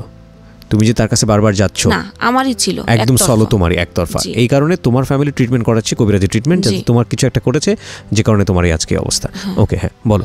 আমি সবসময় এক্সপেক্ট করতাম যে আমার মা আমাকে অনেক ভালোবাসবে তার কাছ থেকে আমি অনেক আদর স্নেহ পাবো তার কাছ থেকে আমি মানসিকভাবে ইন্সপায়ার হব। ওকে সে আমাকে। কিন্তু আমার মায়ের কাছ থেকে আমি এটা কোনোভাবেই পেতাম না। তখন আমার মধ্যে আরও মানে অন্যরকম কাজ করা শুরু করল। আমাকে আমার লাইফে এত কিছু হয়ে গেল এখন তো আমি আরও বেশি এক্সপেক্ট করি যে আমাকে বেশি আদর করবে বেশি কিছু দিবে। কিন্তু আমি সেটা আর পাচ্ছি না। তার. কাছ আম্মুই তো আমাকে বারবার বলল যে এরকম পরিস্থিতি থেকে বেরোনো তুমি ডিভোর্স দিয়ে দাও। এখন এই পরিস্থিতি যশোর দক্ষিণবঙ্গের আমাদের এখানে বড় মাইকেল মধুসূদন বিশ্ববিদ্যালয় কলেজ সেখানে চান্স পেলাম কেমিস্ট্রিতে এদিকে ডাক্তার যখন পাবনার ডাক্তার দেখাইছিলেন উনি বলছিলেন যে তুমি আর মাথায় ব্রেনটে চাপ নিবা না আর কোনো পড়াশোনা টোটালি বিরত থাকো। পড়াশোনা এখন আর করো না। কিন্তু আমি পড়ালেখার জন্য নিজেকে তৈরি করতেছি যে না আমাকে এর মধ্য থেকে বেরোতে হবে তাই আমাকে পড়তে হবে। সে যে কলেজে পড়তো আমি ওই কলেজেই ভর্তি হয়েছি। মানে আপনার এক্স হাজবেন্ড যে কলেজে পড়তো? যেই কলেজে সে এতদিন পড়ালেখা করেছে আচ্ছা। আমি সেই কলেজেই ভর্তি হলাম। তো কলেজে আমি যেতে পারতাম না। আমি তখন ফোন এরপরে আমাকে ফোন দিছে ফার্স্ট ইয়ারেই থাকতে। ওই ফোন নম্বরটা ছিল। এমন কোনো জায়গা নেই যে আমার ফোন নম্বরটা সে ছড়ায় নাই। এমন কোনো লোক নাই যে আমাকে কল আমি নতুন কলেজে আমি কলেজের ফার্স্ট গেট থেকে ঢুকলে পিছন থেকে ব্যাক সাউন্ড শুনতাম খারাপ। আজে বাজে কথা বলতো। হ্যাঁ একসময় ফার্স্ট গেট প্রথম গেট থেকে মানে ঢোকাই বাদ দিয়ে দিলাম। পিছনের গেটের থেকে ঢুকতাম পিছনের গেট থেকে ক্লাস করে বেরোয় যেতাম। টিউশনি শুরু করলাম। পড়তেছিলাম। এখন এদের কথার পেশার বাড়ির পেশার আর কলেজের বাইরে রোডে ঘাটে এত পেশার এবং ফোনে মানুষের এত টর্চারিং ফোন করে বলে যে আপনার রেট কত? এইগুলো বলতো ফোন করে করে। এইগুলো আর নিতে যখন দেখছি যে না আমার পক্ষে মানে একদম ভাইরাল করে দিচ্ছে আমাকে যে আমি একটা খারাপ মেয়ে। এটা এটাই ভাই- এক্স হাজবেন্ড করছে এটা। ওকে এইগুলোর প্রেশারে আমি একদম মানসিকভাবে আরও ভেঙে পড়ি। চলে আসলাম কলেজ ট্রান্সফার করে ঢাকাতে। এই চাপগুলো সামাজিক এইসব চাপের কারণে? জি। আচ্ছা। তখন সেকেন্ড ইয়ার শেষ করেই আমি মিরপুরে চলে আসি বাংলা কলেজে ট্রান্সফার হয়ে। আমার বড় ভাই থাকতেন তো ঢাকাতে তার কাছেই আসলাম। আসার পর একটা কিন্টার গার্ডেনে ঢুকলাম। কিন্টার গার্ডেনে আসলে বেতন কত তো জানেন হ্যাঁ, এক বুঝতেই দুই পারছি। হাজার টাকার বেশি দেয় না। হুম, হুম, হুম। ওখান থেকে দুইটা টিউশনি ইনকাম ছিল চার হাজার। মাসে? ভাইয়াকে দিতে হতো ঘর ভাড়া পঁচিশশো খাবারের জন্য পনেরোশো। সে আমাকে ফ্রি খাওয়াবে না জি। আপন ভাই বড় ভাই। আমার থেকে দশ বছর মানে সিনিয়র ওকে কদিন পরে শুরু হলো যে ভাবির দিক থেকে। আমার জন্য খরচ বেশি হয়ে যায়। খাওয়াতে পারবে না। এখানে এটা করে কেন তোমার বোন? ওখানে ওটা আমাকে ডিরেক্টলি বলে না। আমার ভাবির সাথে আমার কোনো তর্ক হয় নাই। কিন্তু ভাইয়ের সঙ্গে হচ্ছে। ভাইয়ের সাথে করে ভাই এবার ওইটা ফোন দিয়ে আম্মাকে বলে। আম্মা ফোন করে আমাকে কথা ঘুরে আমার কাছে আসে। আচ্ছা আচ্ছা। আমার কথা হলো যে আমি তো অবুঝ না আমি তো বুঝি। আমাকে বলো যে এটা এই সমস্যা তুমি এটা এভাবে করো না এটা এইভাবে করো। শেষ। এত ডাইভার্ট করে এসে কথা এক সময় ভাবি একদিন দেখি কান্না করতেছে বিকেলবেলা। কি হয়েছে ভাবি তোমার? কিছুই বলে না। রাত্রে এসে মানে ভাইয়ার সাথে সেই জ্ঞানজাম পরে আম্মু আমাকে ফোন দিয়ে বলে যে তুমি আলাদা হয়ে যাও। কেন কি হলো? যে তোমাকে খাওয়াতে পারবে না তোমার ভাইয়ের সংসারে অশান্তি হচ্ছে তোমার জন্য। আচ্ছা আচ্ছা। ঠিক আছে। আমাকে বই কেনার জন্য আমার খালাতো ভাই আমাকে টাকা দিয়েছিলেন দুই হাজার। তো আমি আর বই না কিনে ওই সময় হাড়ি পাতিল চাল টাল যা লাগে ওগুলো কিনে নিয়ে আসছি। ওইগুলো কিনে নিয়ে আসার পরে সে সন্ধ্যের সময় আসলো রোজা সেদিন সেকেন্ড রোজা। ভাইয়া সন্ধ্যের সময় আলাদা হয়ে গেলাম একদিন সে একদিনে কোনো খোঁজ নিল না। তার রুমের সাথেই রুম। সে খোঁজ নিল না যে আমার বোন যে আলাদা হয়ে গেল সে কি রান্না করল কি খেলো কোনো কথা নেই। সন্ধ্যের সময় এসে বলতেছে যে আমাকে টাকা দে। আমি টাকা দিব মানে আমি টাকা কোথায় পাবো? সে আমাকে ওই টাকা চাওয়ার জন্য যে কথা বললাম সে আমাকে এত মার মারলো। ছোট ভাই। আমার বড় ভাই যে যে তার আচ্ছা, সাথে আচ্ছা। খায়। তো ঘরে আলনা ছিল আলনা ভেঙে ওই কাঠ দিয়েই আমাকে মারলো। এই কানে এমন একটা থাবা মারলো যে কানের পর্দাই ফেটে গেছে। আমি, ও আর কি বলতেছে, এরপরে আমি আর কিছুই শুনতে পাচ্ছি না। কারণ এক কান তো বন্ধ হয়ে যায়, আরেক কানও বন্ধ হয়ে গেছে দুই কানে। আর কিছু শুনতে পারতেছি না, ও তো আমাকে মারতেছেই। আমি মানে একদম মানে শুনতে না পারলে আমি কি রিয়াক্ট করব। আমি আর রিয়াক্ট করতে পারছি না মারটার খেলাম। ঘর যেভাবে মানে টাকা খোঁজার জন্য। একটা মানুষের ঘরে ডাকাতি করলে ঘরের যে অবস্থা করে, ও সে অবস্থা করছে ঘর। আচ্ছা। ছোটো ভাই তো তারাবি পড়তে গেছে ও এসে দেখে যে ঘরের এই অবস্থা কি হয়েছে? আমি বললাম টাকা চাইছে আমি দিইনি দেখে আমার সাথে এই বিহেভ পরে আম্মাকে ফোন দিল। আম্মা আসলেন ঢাকা থেকে এই যশোর থেকে ঢাকায় আসলেন কিন্তু আম্মা কোনো রিয়াক্ট আর করলেন না যে কেন করল এই। ডাক্তার তখন দেখলাম কানের থেকে ব্লিডিং হচ্ছে। ব্লিডিং হওয়ার পরে বুঝলাম যে আমি কেন শুনতে পাচ্ছি না। ওকে এরপরে ডাক্তার টাক্তার দেখালাম পিজিতে কান দেখে বলেছিল যে আর মানে পর্দা জোড়া লাগবে না। কিন্তু লেগে গেছে কোনো কারণে। ওখান থেকে এবার আমাদের বলা হলো যে বাসা চেঞ্জ করে চলে যেতে। তা আমার এক কলিগ আমাকে বাসা দিলেন। বলল যে মেয়ে কলিগ ওনার বাসা? বলল ছোট একটা রুম আছে তুমি আমার বাসাতেই থাকো সমস্যা নেই। থাকলাম এখানে। এবার ওইখান থেকে চাকরিও চেঞ্জ করে আমি মিরপুরেই চলে আসলাম। দারুসালাম থানার এদিকে। চাকরি এখানেও আরেকটা স্কুলেই আসলাম। ফোর্থ ইয়ার পরীক্ষা শেষ হলো। তো আম্মু বলল যে অনেক দিন তো থাকছিস আয়। মানে আমার মার কথা হলো যে আমি মা আমি সন্তানের মানে ভালোর জন্য করতেছি যা করতেছি এটাই রাইট তোমার কথা বলার কোনো স্কোপ নেই বা আমার যে কি ইচ্ছা এরকম কোনো ইচ্ছা প্রকাশ করার মতো জায়গা নাই। আচ্ছা। তখন আবার সেই একই ওই রকম নোংরা কথা টুকটাক বলেই আমি ওই নোংরা কথাগুলো আমি কখনো মানে ই করতে পারি না। ওই যাওয়ার পরে একই অবস্থা। এরপরে আমার একদিন রাগ হলো, আমি তাকে বলেই বসলাম যে আমার যে ডিভোর্স হলো, আমাকে তো কিছু টাকা দিয়েছিল মানে কাবিনের যে টাকা। এখন তো যখন আমি এই কথাটা বলি তখন দুই হাজার তেরো সাল, আমার ডিভোর্স হয়েছে দুই হাজার সাত সালে। তা এত বছর আমার টাকা তো আমার মা আমার কাছ থেকে বলেই বলছিল, কিন্তু টাকাটা আমার হাতে দেয় নাই, তাদের কাছে দিছেন। আমাকে বলল যে তোম তোমার ওই টাকাটা নিয়ে আমি ঘর তৈরি করতেছি আর তোমাকে একটা মানে ডিপোজিট করে দেবো তোমার ভবিষ্যতের জন্য। কত টাকা ছিল ওটা? পঁয়ষট্টি হাজার টাকা দিছিলেন। আচ্ছা। আমার মা সেটা দিয়ে ঘর তুলছেন তোলার পরে ভাড়া দি তার মতো সে চলে। আমার জন্য কোনো ডিপ্রেস করে নাই সেটা আমি জানি না কারণ আমি মাকে বিশ্বাস করছি। তখন তার কাছে আমি টাকা চেলাম সে সেম আমার মাথা নষ্ট হয়ে গেছে। ওই রিয়াকশান থেকে আমি পাগল হয়ে গেছি আবার ওইখানে দৌড়লেন। তারা বলছে হ্যাঁ পাগল টাগল হয়ে গেছে আর- হচ্ছে গিয়ে সেটাও না। ওই পাগল মাথা একটু নষ্ট হয়েছে সেটার কারণ হলো যে তার অন্য কারোর সাথে অ্যাফেয়ার আছে। সেই কারণে সে টাকা চাচ্ছে। এই কবিরাজি ট্রিটমেন্ট জি। আমি আমার মাকে হাজার বোঝানোর চেষ্টা করেছি যে আমার কারোর সাথে অ্যাফেয়ার নেই। যদি সেটাই হতো তা আমি ঢাকা শহরে তো এত কয় বছর পার করে আসলাম। আমি তো অনেক কিছু করতে পারতাম। আমি সেটা করি নাই কখনো। সে শুনলো না। এক প্রকার রাগ করেই আমি বলেছিলাম, তাহলে আমার টাকাগুলো আমাকে ফিরাই দাও। এবং এই যে কত বছর আমাকে টাকাগুলো রাখছো, সেটা লাভ সহই আমাকে দেওয়া লাগবে।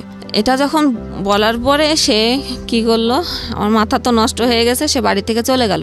আমার মা রাগ করে যে আমার বিভিন্ন আত্মীয় স্বজনের কাছে যে বলল, এবং কবিরাজের কাছে তো আগে গেছেই বলেছে যে আপনাকে টাকার জন্য আপনার মেয়ে আপনাকে মেরেও ফেলতে পারে।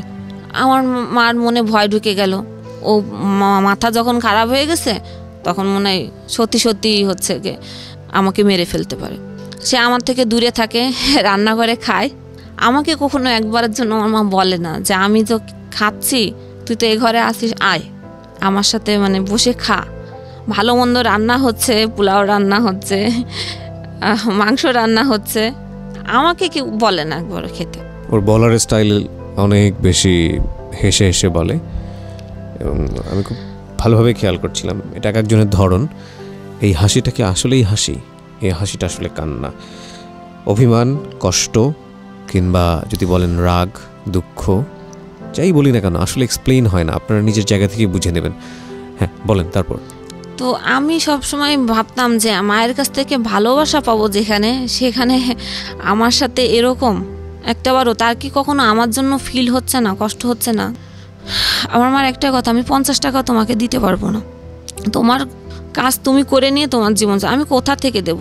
কিন্তু আচ্ছা। আমার মায়ের অ্যাবিলিটিও এমন ছিল না যে সে আমাকে দিতে পারবে না বা আমার মা আমার ভাইদের প্রতিও ডিপেন্ডেন্ট ছিল না যে ভাইরা দিবে সেই হিসাবে তাকে চলতে হবে। ওকে আমাদের বাড়ি হচ্ছে যশোরেই দুইতলা বাড়ি নিচে ফ্ল্যাট ভাড়া দেওয়া।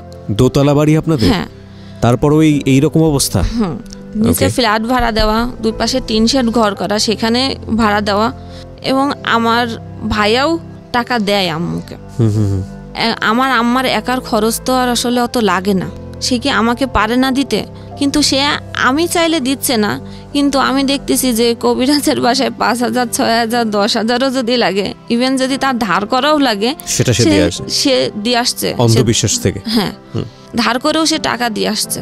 তখন আমি রাগ করে চলে গেলাম আমি প্রথম ফার্স্ট আমার চাচা বাড়িতে। আমার মানে এত বছর জীবনে আমি চাচা মামা ফুপু খালাতো ভাই বোন বা কারোর সাথে কখনো মিশতে দেওয়া হয় নাই। ভাই বোনের যে কি সম্পর্ক, কি টান বা এক জায়গা হলে কত মানে মানুষ উপভোগ করে আনন্দ, সেটা কখনো করি নাই। তো গেলাম, সেখান থেকে খোঁজ পেল আমার খালু। বলল যে, তুই আমাদের বাড়িতে বাসায় আয়, তোর কি হয়েছে দেখি। ওখানে যে থাকার পরে সেই একই অবস্থা। আম্মু খালু যেটা, খালু এগুলো বিশ্বাস করে না, কিন্তু খালামণিকে আম্মু চুপি চুপি ওই জিনিসগুলো দিয়ে আসে। যে, ঠিক আছে, তোর এখানে আছে, তুই এগুলো খাওয়াস ওকে পানি টানি এগুলো।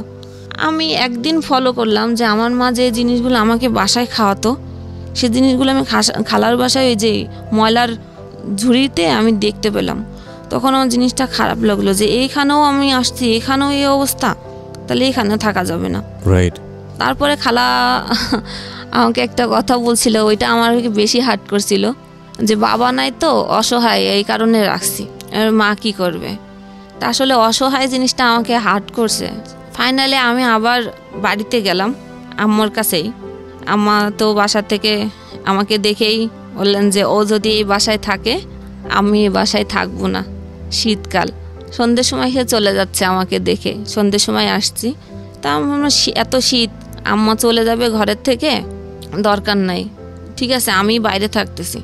আমি সারা রাত শীতের মধ্যে সোয়েটার নেই, কোনো কিছু নেই। আমি সারা রাত সিঁড়িতে বসে থাকলাম। আমার মা ঘরে ঠিকই ঘুমালেন লেপের মধ্যে। সেখানে ভাইয়াকে ফোন দিলেন ঢাকায় যে ওর তো মাথা খারাপ হয়ে গেছে এখন কি করবি কর আও তো আমাকে মেরেই ফেলবে। আমি অমুককে দেখাইছিলাম সেখানে এই কথা বলছে তুই আয়।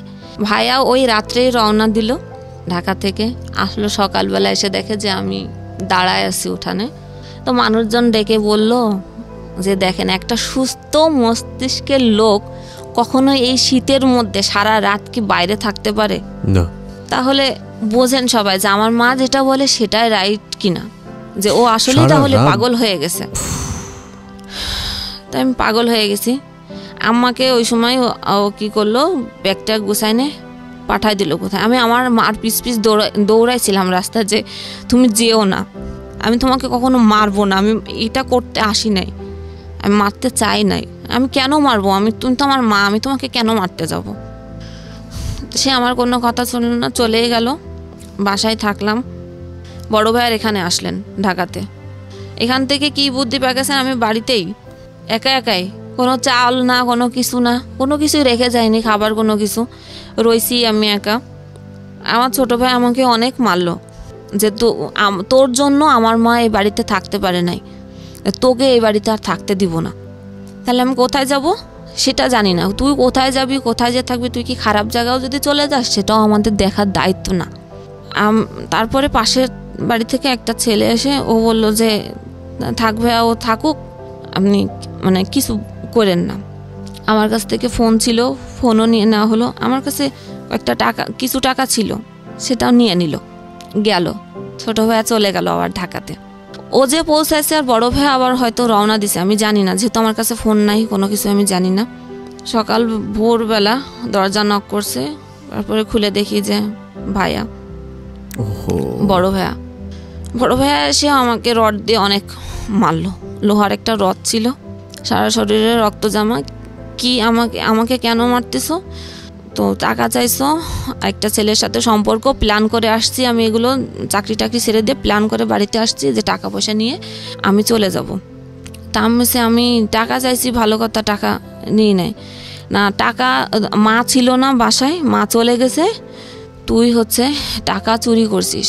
আমি টাকা চুরি করছি, কত টাকা? পঞ্চাশ হাজার টাকা। আমি আমি চুরি করছি। আমি চুরি করলে আমি ঘরে কেন? রাইট আমি চুরি করলে তো আমি নিয়ে চলে যেতাম। তাহলে আমি কেন আমি যদি প্ল্যান করে থাকতাম কারোর সাথেই চলে যেতাম তাহলে তো আমার উপযুক্ত সময় ছিল যে বাসা বাড়িতে কেউ নাই। আমি তো নিয়ে চলে যেতাম। যখন সে আমার কোনো কথাই শোনে নাই প্রচুর আমাকে মারলো এবং বাইরে থেকে তালা লাগা চলে গেল যে আমার আব্বুর একটা ফ্রেন্ড ছিল পাশে তাকে ডেকে আনলো। আনার পরে তাকে কাক বলতে বলল যে আম্মা বলছে যে ও হচ্ছে ঘরে সোনা গহনা ছিল সেগুলো চুরি করে পাস করছে আর পঞ্চাশ হাজার টাকা ছিল সে টাকা ও পাস করে দিছে। তা আমি বলছি এটা কে বলছে? বলছে মা বলছে। আমি বলছি আম্মা বলছে? আমার বিশ্বাস হয় না। কারণ আমি এত বছর সে আমাকে মানুষ করছে আমি চোর কি আমার হাত টাকা নেওয়ার অভ্যাস আছে কিনা একমাত্র সেই ব্যক্তি আমাকে বলতে পারবে যে আমি কেমন। জি। তা আমার মা যদি বলে থাকে যে আমি চুরি করছি তাহলে আমি বাড়ি থেকে হচ্ছে গিয়ে চলে যাব। তা বলছে, ঠিক আছে, আম্মাকে ফোন দিচ্ছি। আর প্রতিবেশী যারা যে কাকু, তারা বসাই আমার সামনে। তা আমি কাকুর কাছে রিকোয়েস্ট করছি যে, আমার তো মারতে মারতে আর জায়গা রাখে নাই। তো আমার, তারপরও আমার, আমি মানে বাড়ি ছেড়ে যাই নাই। যদি আমার মা আমাকে এই কথা বলে যে, আমি চুরি করছি, তাহলে আমি আজকে এখনই এই মুহূর্তে আমি চলে যাব। কারণ আমার আর বলার কোনো ভাষা নেই, এর কোনো উত্তর আমার কাছে জানা নাই।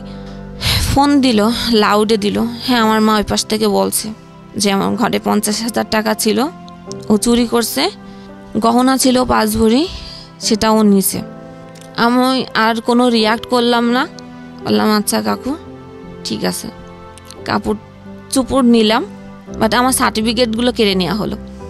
আমার ভাই আমার সার্টিফিকেটগুলো কেড়ে নিল, দিল না।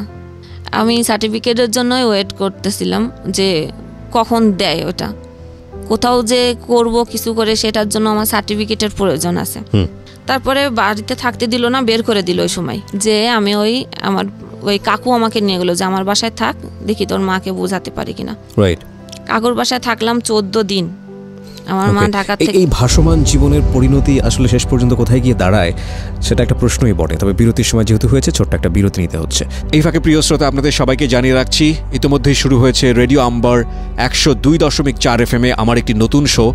যে অনুষ্ঠানটির কথা হয়তো বা অনেকেই জানেন microphone testing one zero two four যেখানে বাংলাদেশের ছড়িয়ে ছিটিয়ে থাকা অসম্ভব প্রতিভাবান শিল্পী যারা আছেন যারা কোথাও কোনো ফ্লোর পান না কিন্তু খুব ভালো গান তাদের সুযোগ ঘটছে, একটা অনুষ্ঠানে, একটা এপিসোডে নিজেকে প্রকাশ করবার। আপনি যদি খুব ভালো গান করেন এবং আপনি যদি মনে করেন এই অনুষ্ঠানটিতে আপনি অংশগ্রহণ করবেন, তাহলে এই নাম্বারটিতে ফোন দিতে হবে এবং নাম্বারটিতে ফোন দিয়ে ফোন থেকে আপনি যে নির্দেশনা পাবেন, সেই অনুসারে আপনি কাজটি করবেন। ফোন নাম্বারটি হচ্ছে zero nine six double one zero zero one zero two four আমি বাংলায় বলছি এবং ধীরে ধীরে বলছি। শূন্য নয়, ছয় এক এক, শূন্য শূন্য এক শূন্য দুই চার। এই নাম্বারটিতে ফোন দিয়ে আপনি নির্দেশনা অনুসারে আপনি কাজটি করবেন। আর এমনও হতে পারে এই অনুষ্ঠানের মধ্য দিয়ে সারা বাংলাদেশ আপনাকে অন্যভাবে চিনবে। সো অপেক্ষা করছি আপনার কলের। জীবন গল্প। জীবন নাটকের চেয়েও নাটকীয়। জীবন গল্প।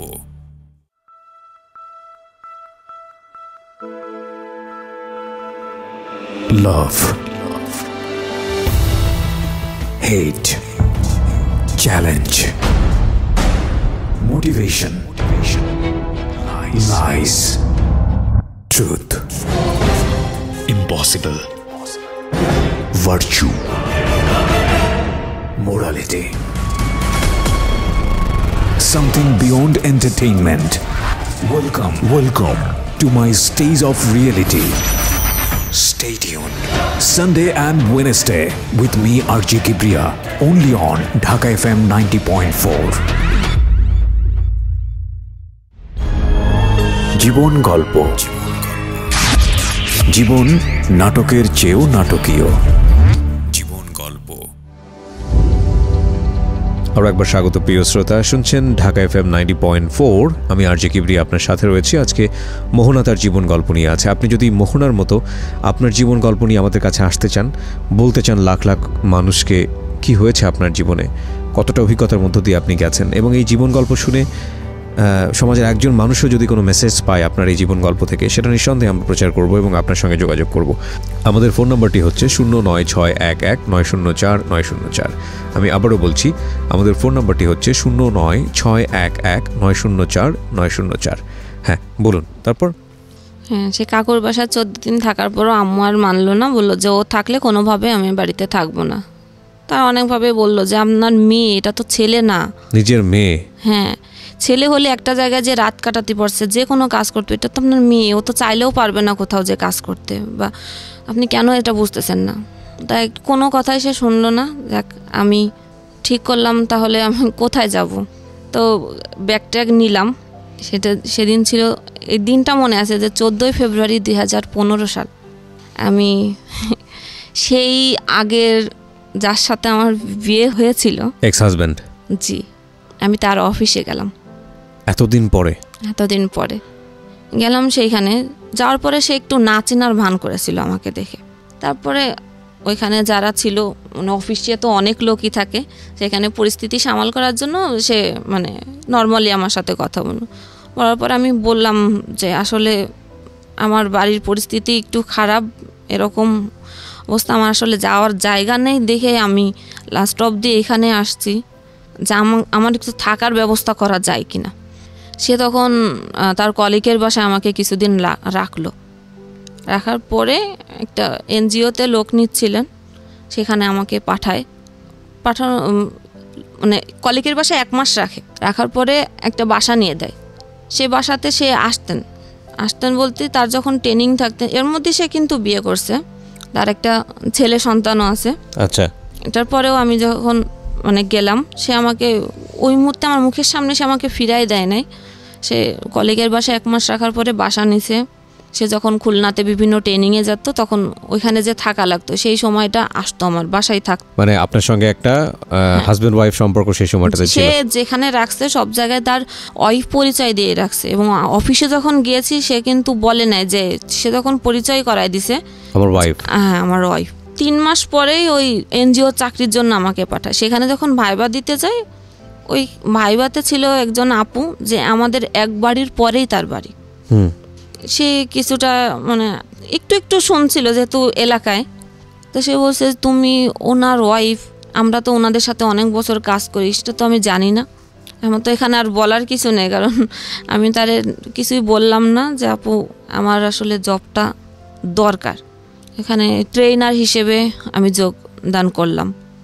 আপনার বিভিন্ন ইউনিয়ন কাউন্সিলে ভিজিএফ ভিজিডির চাল দেয় সরকার থেকে। ওটা একটা প্রকল্প। সেখানে স্যালারি আমার পাঁচ হাজার টাকা ছিল। কিন্তু সে যে আমাকে ওই চাকরিটা দিয়ে আস্তে আস্তে যে দূরে মানে সরায় দেওয়ার জন্য ই করছে সেটা আমি বুঝি নাই। ওই কয় মাস সে আমাকে খরচ টরচ দিছে বাসা ভাড়া দিছে খাবার খরচ মানে সবই দিছে। এটুকুই বা করে কে? হ্যাঁ। তাই না? না করলেও তো পারতো। পারতো। রাইট এটা করার পরে আর এবং ওই চাকরিতে ঢোকার সময় হচ্ছে দশ হাজার টাকা ই দিতে হয় জামানত। এখন অনেক মেম্বার দশ টাকা করে হলেও অনেক টাকা হয়ে যায়। চা- এক এক যখন টাকা তোলা হতো চার লাখ পাঁচ লাখ করে টাকা উঠতো। এই কারণে জামানত হচ্ছে দেওয়া। দশ হাজার টাকা সে নিজেই দিল জামানত হিসেবে। এরপরে আর যোগাযোগ যখন করে নাই তখন আমি বাসাতে মানুষের কাছে কি জবাবদিহিতা করব। রাইট যে কাউন্সিলরকে আমাকে দিয়ে আসছে সেখানেও তো সে একই পরিচয় দিয়ে আসছে। আমি তো কাউকেই জবাব দিতে পারি না যে তোমার হাজবেন্ড কোথায় কেন আসে না। কোনো একটা ডাউট আছে এটা তো মানুষ বোঝে। যে মাসের পর মাস আসে না ফোন দেয় না খোঁজ নেয় না নিশ্চয়ই কোনো সমস্যা আছে। আমি আর কিছু বলতাম না। এরপরে আমি চাকরিটা ছেড়ে দিলাম। এই এত কথা উত্তর না দিতে পেরে। হ্যাঁ। আচ্ছা। যেখানে থাকব না ওই মুহূর্তে আর চাকরি নাই। আসলাম এক কোনো রিলেটিভ না যেহেতু কোনো রিলেটিভের বাসায় আমি যাওয়ার মতো পরিস্থিতি নাই। শুধু একটা রিলেটিভের বাসায় একদিন গিয়েছিলাম থাকার জন্য এক রাত।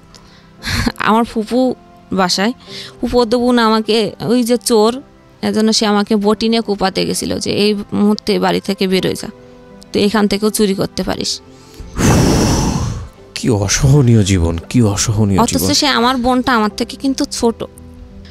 এরপরে আসলাম আমাদের গল্প আপনি বলছেন এতগুলো ঘটনা ঘটে গেছে আপনার জীবনে আপনি কাঁদছেন না? মানে আপনি কি পাথর হয়ে গেছেন শোকে? ও সহ্য করতে করতে এখন আর চোখে পানি আসে না। কারণ প্রতি মুহূর্তে যুদ্ধ করছি যে আমাকে উত্তরণ করতে হবে। কিন্তু একটা জিনিসই এর মধ্যে শুধু মাথায় কাজ করতো যে আমাকে পড়ালেখা শেষ করতে হবে। এটা খেয়াল রাখবেন একটু। ওর গল্পটা কোথায় গিয়ে দাঁড়ায়? হ্যাঁ তারপর? এরপর আমাদের বাড়িতে দীর্ঘদিন ভাড়া ছিল।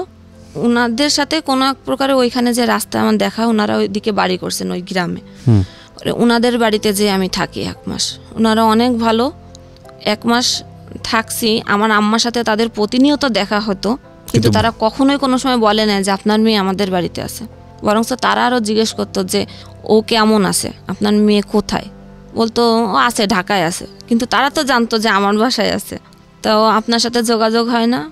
বলতো হয়। মানে যে কোনো একটাভাবে পাশ কাটা যেত। আমার কোনো প্রসঙ্গ আসলে কথা বলতো না। তাদের বাসায় এক মাস থাকার পরে আমি তখন মোবাইলে ফেসবুক অ্যাকাউন্ট খুলি। আচ্ছা। এর আগে আমার ফেসবুক অ্যাকাউন্ট ছিল না। তো ফেসবুকে ফ্রেন্ড লিস্টে মানে নক করতাম। ফ্রেন্ড যারা ছিল যাদের চিনতাম যাদের চিনতাম না জবের জন্য। ফাইনালি একজন আমাকে বলল যে হ্যাঁ জব দিতে পারি শর্ত আছে। কি শর্ত? টেক অ্যান্ড গিভ যেটা এখন চলে সবাই জানে যে টেক অ্যান্ড গিভ কি। তো আমি সেই মুহূর্তে ভাবলাম যে আমি কখনো এত কষ্ট ফেস করছি, কখনো এই রকম কোনো নোংরা জিনিস আমার মাথায় কাজ করে নাই। কিন্তু আমাকে তো জবের এখন দরকার, তখন আমি টে মানে রাজি হলাম। কিন্তু আমার মনে ছিল যে আমি জবটা নিব, তারপরে আমি তাকে টেকনিক্যালি অ্যাভয়েড করে যাব এরকম কোনো ইসে মানে আমি তার সাথে দুই নম্বরই করব এটা এরকম একটা ছিল। আচ্ছা। ফাইনালি আমি আবার ঢাকায় আসলাম। তো যেদিন আমি মানে ঢাকায় আসছি সব কিছু নিয়ে আমি ঢাকায় এসে কোথায় থাকব কোথায় উঠব আমি নিজেও জানি না। রাত্রে রওনা দিলাম। অন্য সময় আমাদের ওদিকে হচ্ছে ফেরি পার হতে হয় নদী ঘাট পার হতে হয় অনেক জ্যাম থাকে। রাত্রে রওনা দিলে সকালে ফেরিতে ওঠে। ওদিন কোনো জ্যাম নাই। পুরো এসে রাত দুইটার সময় নামাই দিছে, কলাবাগান। এখন আমি কোথায় যাব? ওখানে মনে হয় সম্ভবত স্কয়ার হাসপাতাল। আমি হাসপাতালেই বসে বসে ভাবতেছি যে এখন আমি কি করব।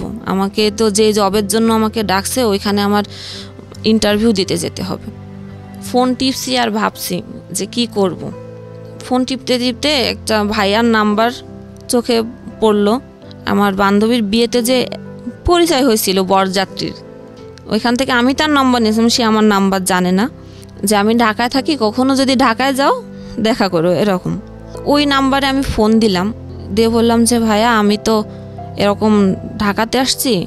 আমার একটু প্রবলেম আছে, আপনি আমাকে একটু থাকার জায়গা ম্যানেজ করে দিবেন। টাকা পয়সা নিয়ে আপনার হেল্প করা লাগবে না জাস্ট একটু থাকার ব্যবস্থা। সে বলল, ঠিক আছে। তখন ভোর ভোর হয়েছে।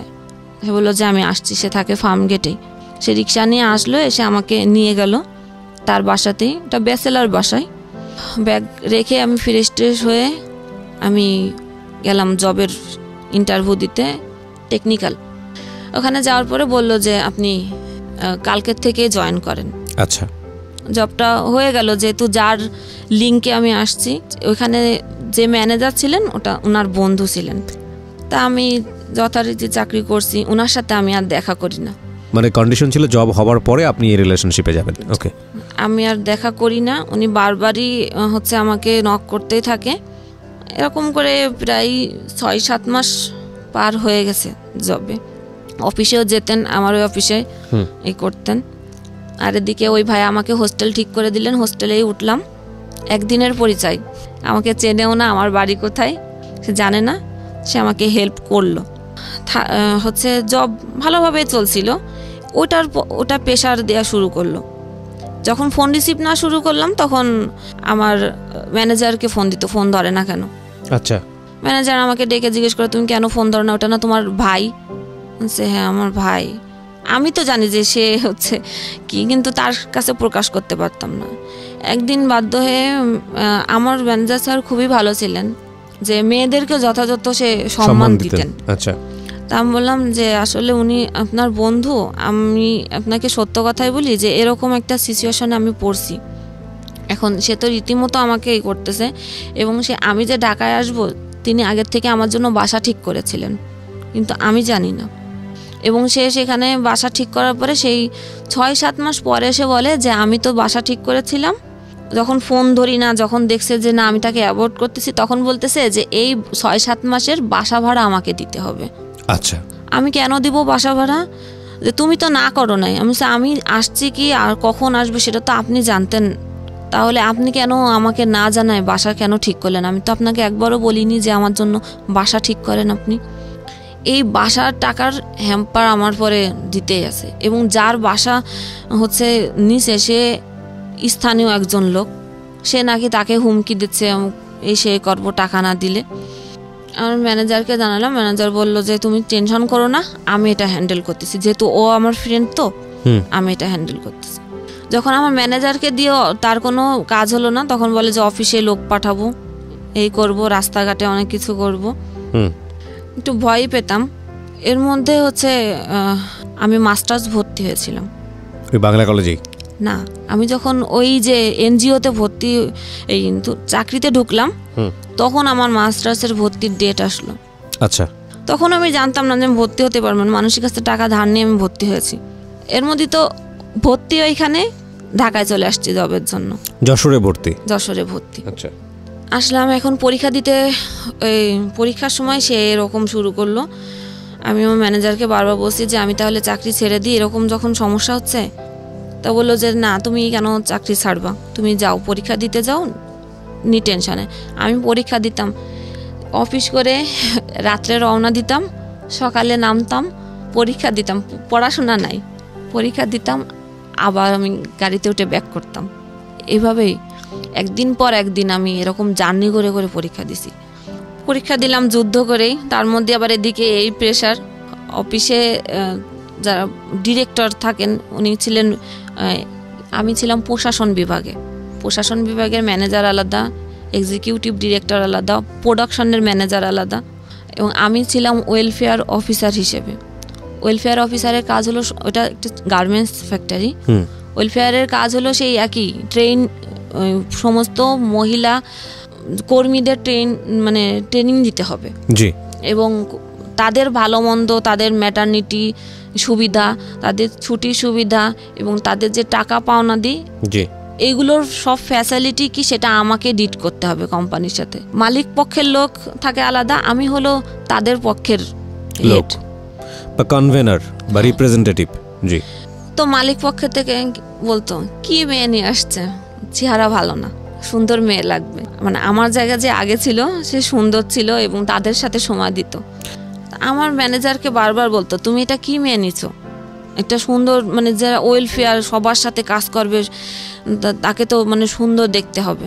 তো ম্যানেজার বলতো যে, আমার তো কাজের দরকার। একজন শিক্ষিত মেয়ে লাগবে প্লাস যে কাজ করতে পারে, আমার তাকে লাগবে। আমার চেহারা দিয়ে কী করব? সেটা সাপোর্ট দিত আমাকে। এবং যখন অফিস অনেক রাত করে, অনেক সময় শেষ হয়ে যেত, তখন সে তার বাসায় দিকেই আমাকে নিয়ে আসতো। ছোট বোনের মতো দেখতো সে। হুম। সেটাও তাদের চোখে ডাউট লাগছে যে ম্যানেজার সবসময় ওকে সাপোর্ট করতেছে। হুম। এদিকে ওরা টাকার জন্য প্রেশার দিচ্ছে বলতেছে যে টাকা দিব নাই ওকে দেখা করতে বলো। সেখানেও ও সাপোর্ট করতেছে।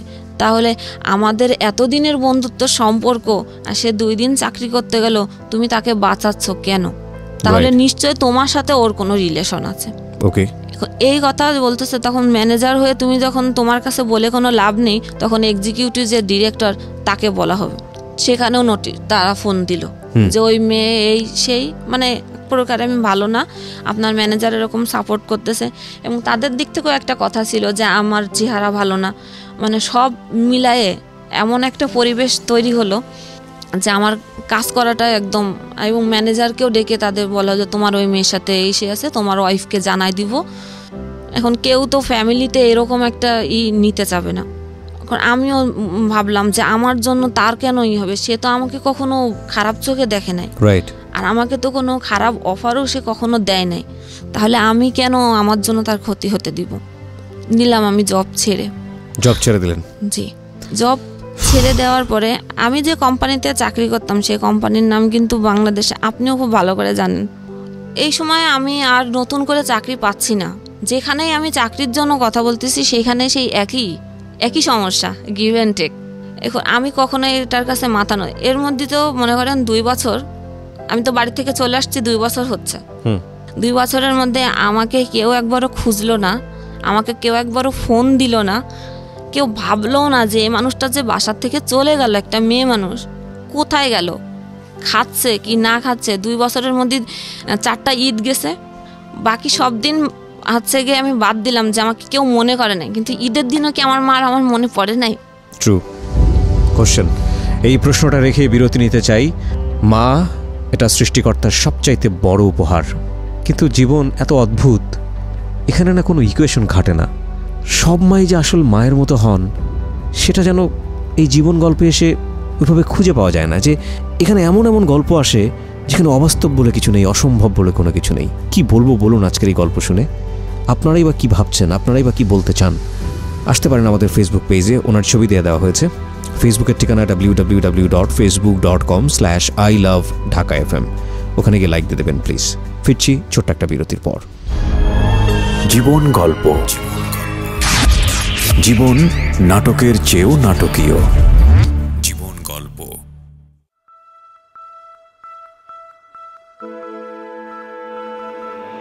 Love hate challenge motivation lies truth impossible. Virtue, morality. Something beyond entertainment. Welcome, welcome to my stage of reality. Stay tuned. Sunday and Wednesday with me, RJ Kibriya, only on Dhaka FM 90.4. জীবন গল্প জীবন নাটকের চেয়েও নাটকীয় স্বাগত আরও একবার প্রিয় শ্রোতা। শুনছেন জীবন গল্প Dhaka F M ninety point ফোরে। আমি আর জি কিবরিয়া আপনার সাথে রয়েছি আর আমার সঙ্গে আজকে জীবন গল্প নিয়ে আছেন মোহনা। কথা না বাড়িয়ে তার কাছে আমি আবারও ফিরছি। হ্যাঁ বলুন। তো এটা ফিল করতাম ফিল করে আমি আমার নাম্বার থেকে ফোন দিলে আমার মা কখনো ফোন রিসিভ করতো না। অন্য আন্নোর নাম্বার থেকে ফোন দিয়ে আমি চুপ করে থাকতাম, শুধু একটু কণ্ঠ শোনার জন্য। যে মার কণ্ঠ একটু শুনব। যখনই আমার কখনো হ্যালো শব্দটা শুনতো, যখনই বুঝতে পারতাম আমি তখনই ঠিক ফোনটা কেটে দিত, আর কখনো আমার ফোন ধরতো না। এবং আমার ভাইও না।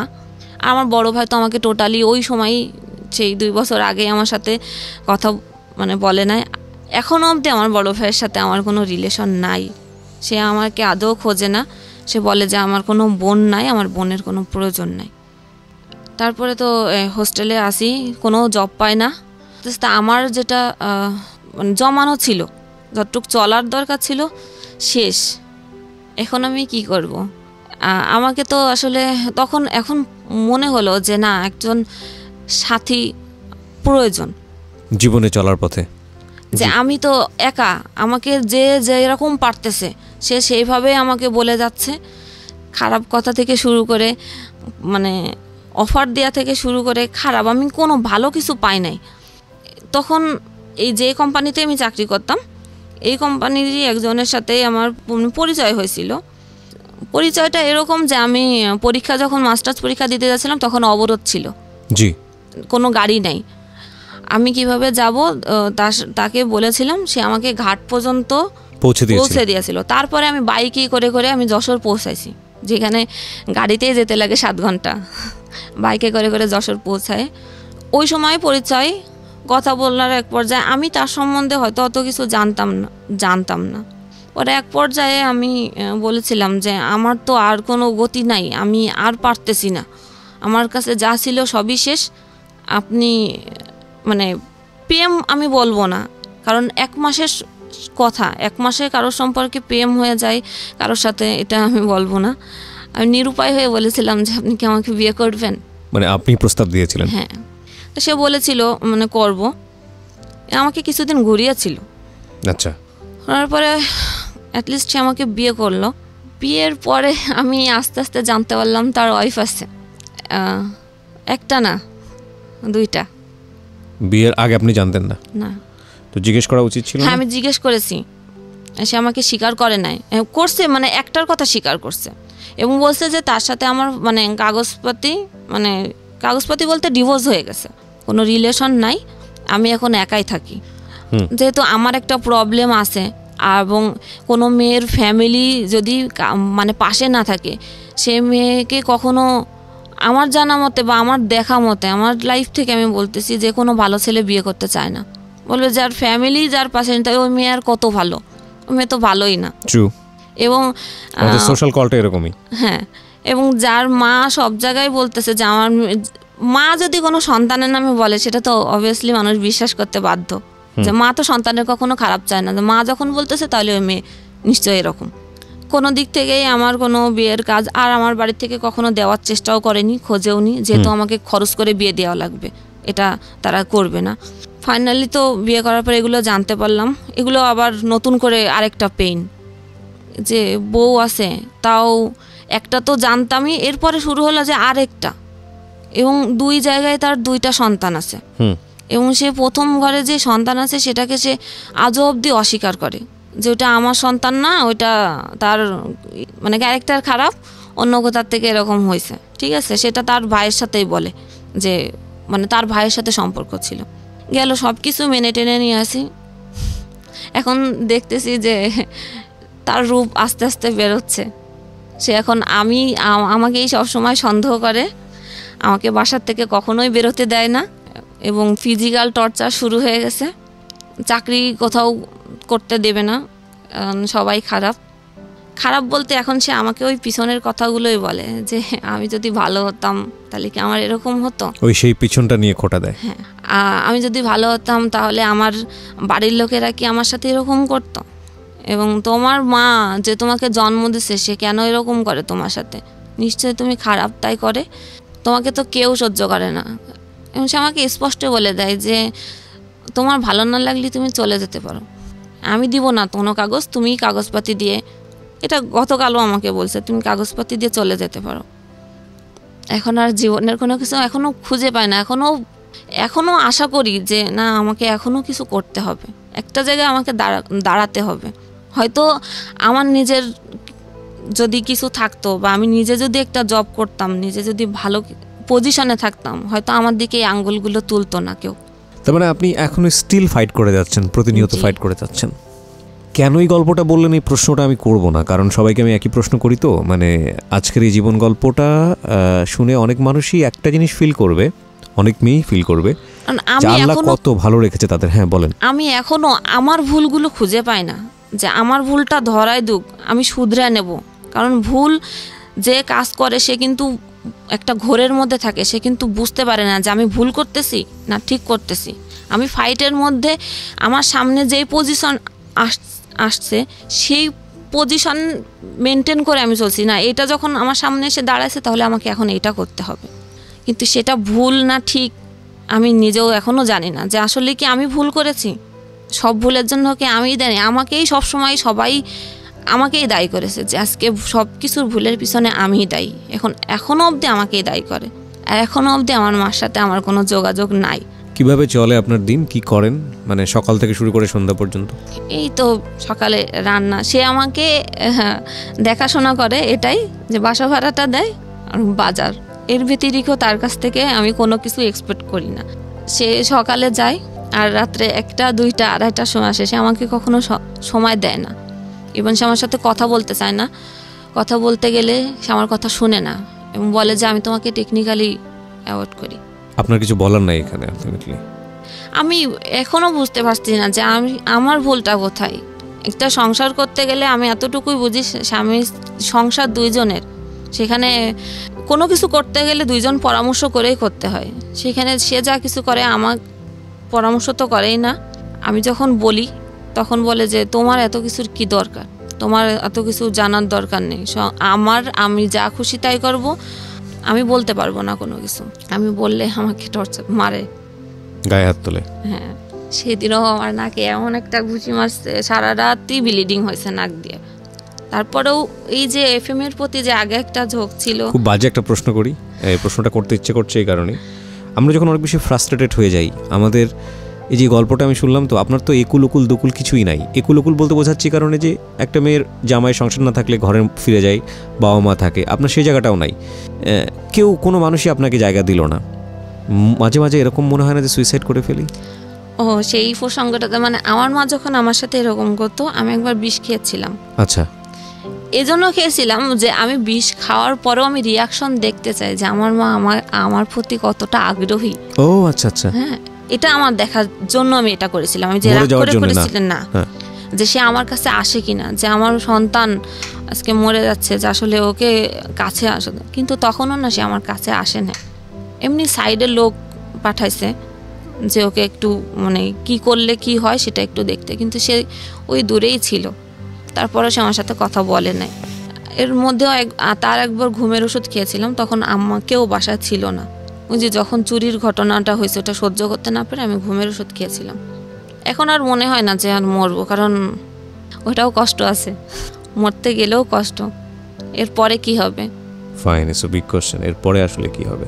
এবং আমি মাস্টার্স কমপ্লিট করেছি আর এখন যে আমার হাজবেন্ড সে কিন্তু এসএসসি পাস। আচ্ছা তো আপনি মাস্টার্স কমপ্লিট করেছেন। আপনার কি সরকারি চাকরির বয়স আছে? হ্যাঁ আছে এখনও আপনি বিসিএস ট্রাই করেন অন্যগুলো ট্রাই করেন। এখন কি হয়েছে যে আগে আমি এত ভালো স্টুডেন্ট ছিলাম যে কোন পৃষ্ঠায় কি পড়তাম, আমার কিন্তু মনে থাকতো এক মাস পরেও যে আমি অমুক পৃষ্ঠায় এত জায়গায়। এখন আমি এত কিছু মানে পড়ি, চেষ্টা করি, আমার কোনোভাবে আমি মনে রাখতে পারি না। ব্রেনে অনেক চাপ পড়েছে যে কারণে। সো আপনাকে যদি বলতে বলি যে আমাদের যারা লাখ লাখ শ্রোতা আছেন, তাদের উদ্দেশ্যে কিছু বলার জন্য কি বলবেন? কিছু বলার আছে? একেবারে নিজের জীবন থেকে। থাকে না যে আপনি যে অভিজ্ঞতার মধ্য দিয়ে গেছেন সেই অভিজ্ঞতার আলোকে যদি কিছু বলতে বলি। কি বলব? কারণ বা এটা যদি না বলেন হ্যাঁ, তাহলে শুরুটা একটা হয়েছিল জায়গায় এরকম আসতে পারি কিনা যে এত ফ্রাস্ট্রেশন এত বেশি ঝামেলা এত বেশি মানে কি বলা যেতে পারে লাইফে কোনো জায়গায় কোনো হোপ নেই। তার মধ্যেও আপনি বেঁচে থাকেন মানে সামনে নিশ্চয়ই একটা স্বপ্ন আছে রাইট এখনও খোটা শুনি যে শিক্ষিত হয়েছি শুধু টাকাই নষ্ট করেছি। না সেটা ঠিক আছে কিন্তু মানুষ তো একটা স্বপ্ন নিয়ে বেঁচে থাকে যে আজ আজকের পরে অন্তত আমার আগামী দিনটা এরকম সুন্দর। তো হ্যাঁ, আপনার কোনো স্বপ্ন আছে? এই স্বপ্ন থেকেই যে আমি কোচিং করেছিলাম একটা নিউজ প্রেজেন্টারের। তো ছোটবেলায় যে বলেছি যে আমাদের বাড়ি টিভি ছিল না কিন্তু আমার ওই জিনিসটার প্রতি কিন্তু আগ্রহ ছিল। ওই টিভিতে একটু দেখা যাবে। আমি নিজেকে ভাবতাম মাঝে মাঝে যে ওইখানে কি আমাকে কখনো দেখা যাবে? এটা আমি ভাবতাম। চুরি করে আমি টিভি দেখতে যেতাম। এটার জন্য অনেক মার খেয়েছি। কিন্তু এতদিনে সম্ভব হয় নাই এই পজিশনে থেকে আমি পারি নাই। হয়তো বা সেটা আর হবেও না। কিন্তু একটা সংসারের স্বপ্ন থাকে না একটা মেয়ে যে একটা ছিমছাম সংসার একটা বাচ্চা কাচ্চা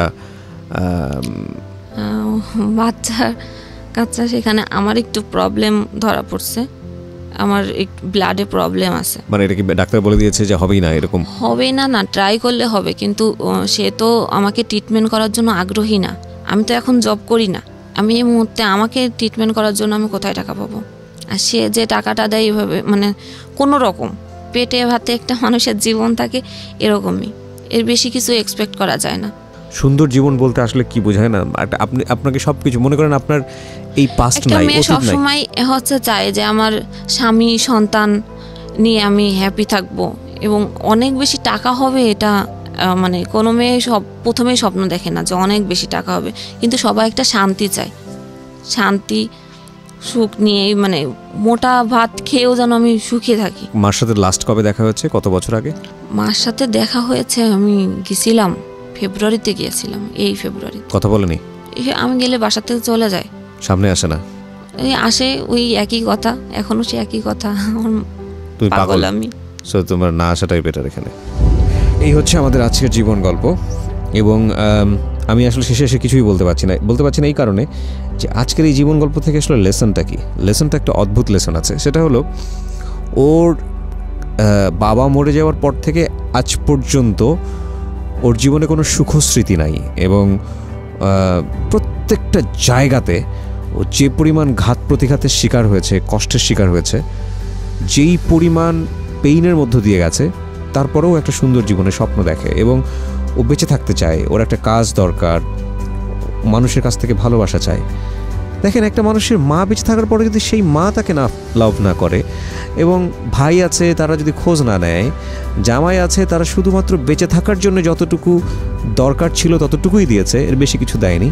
তারপরেও যদি একটা মানুষ বেঁচে থাকতে পারে সুন্দর ভবিষ্যতের জন্যে, তাহলে আপনি যতটা কষ্টেই থাকেন না কেন, যতটা প্রবলেমের মধ্যেই থাকেন না কেন আপনার মনে হয় একটা সুন্দর জীবনের স্বপ্ন দেখা উচিত। আমি বরং আজকের এই গল্পটা কীভাবেই দেখতে চাই। জীবন গল্পটা এখানেই শেষ হচ্ছে। আগামী বুধবার ঠিক রাত এগারোটায় আমি আর জি কিবরি আবারও ফিরবো। আমার সামনে হয়তো আরও একজন গেস্ট থাকবেন। তার জীবন গল্প হয়তো আমাদের নতুন করে ভাবাবে।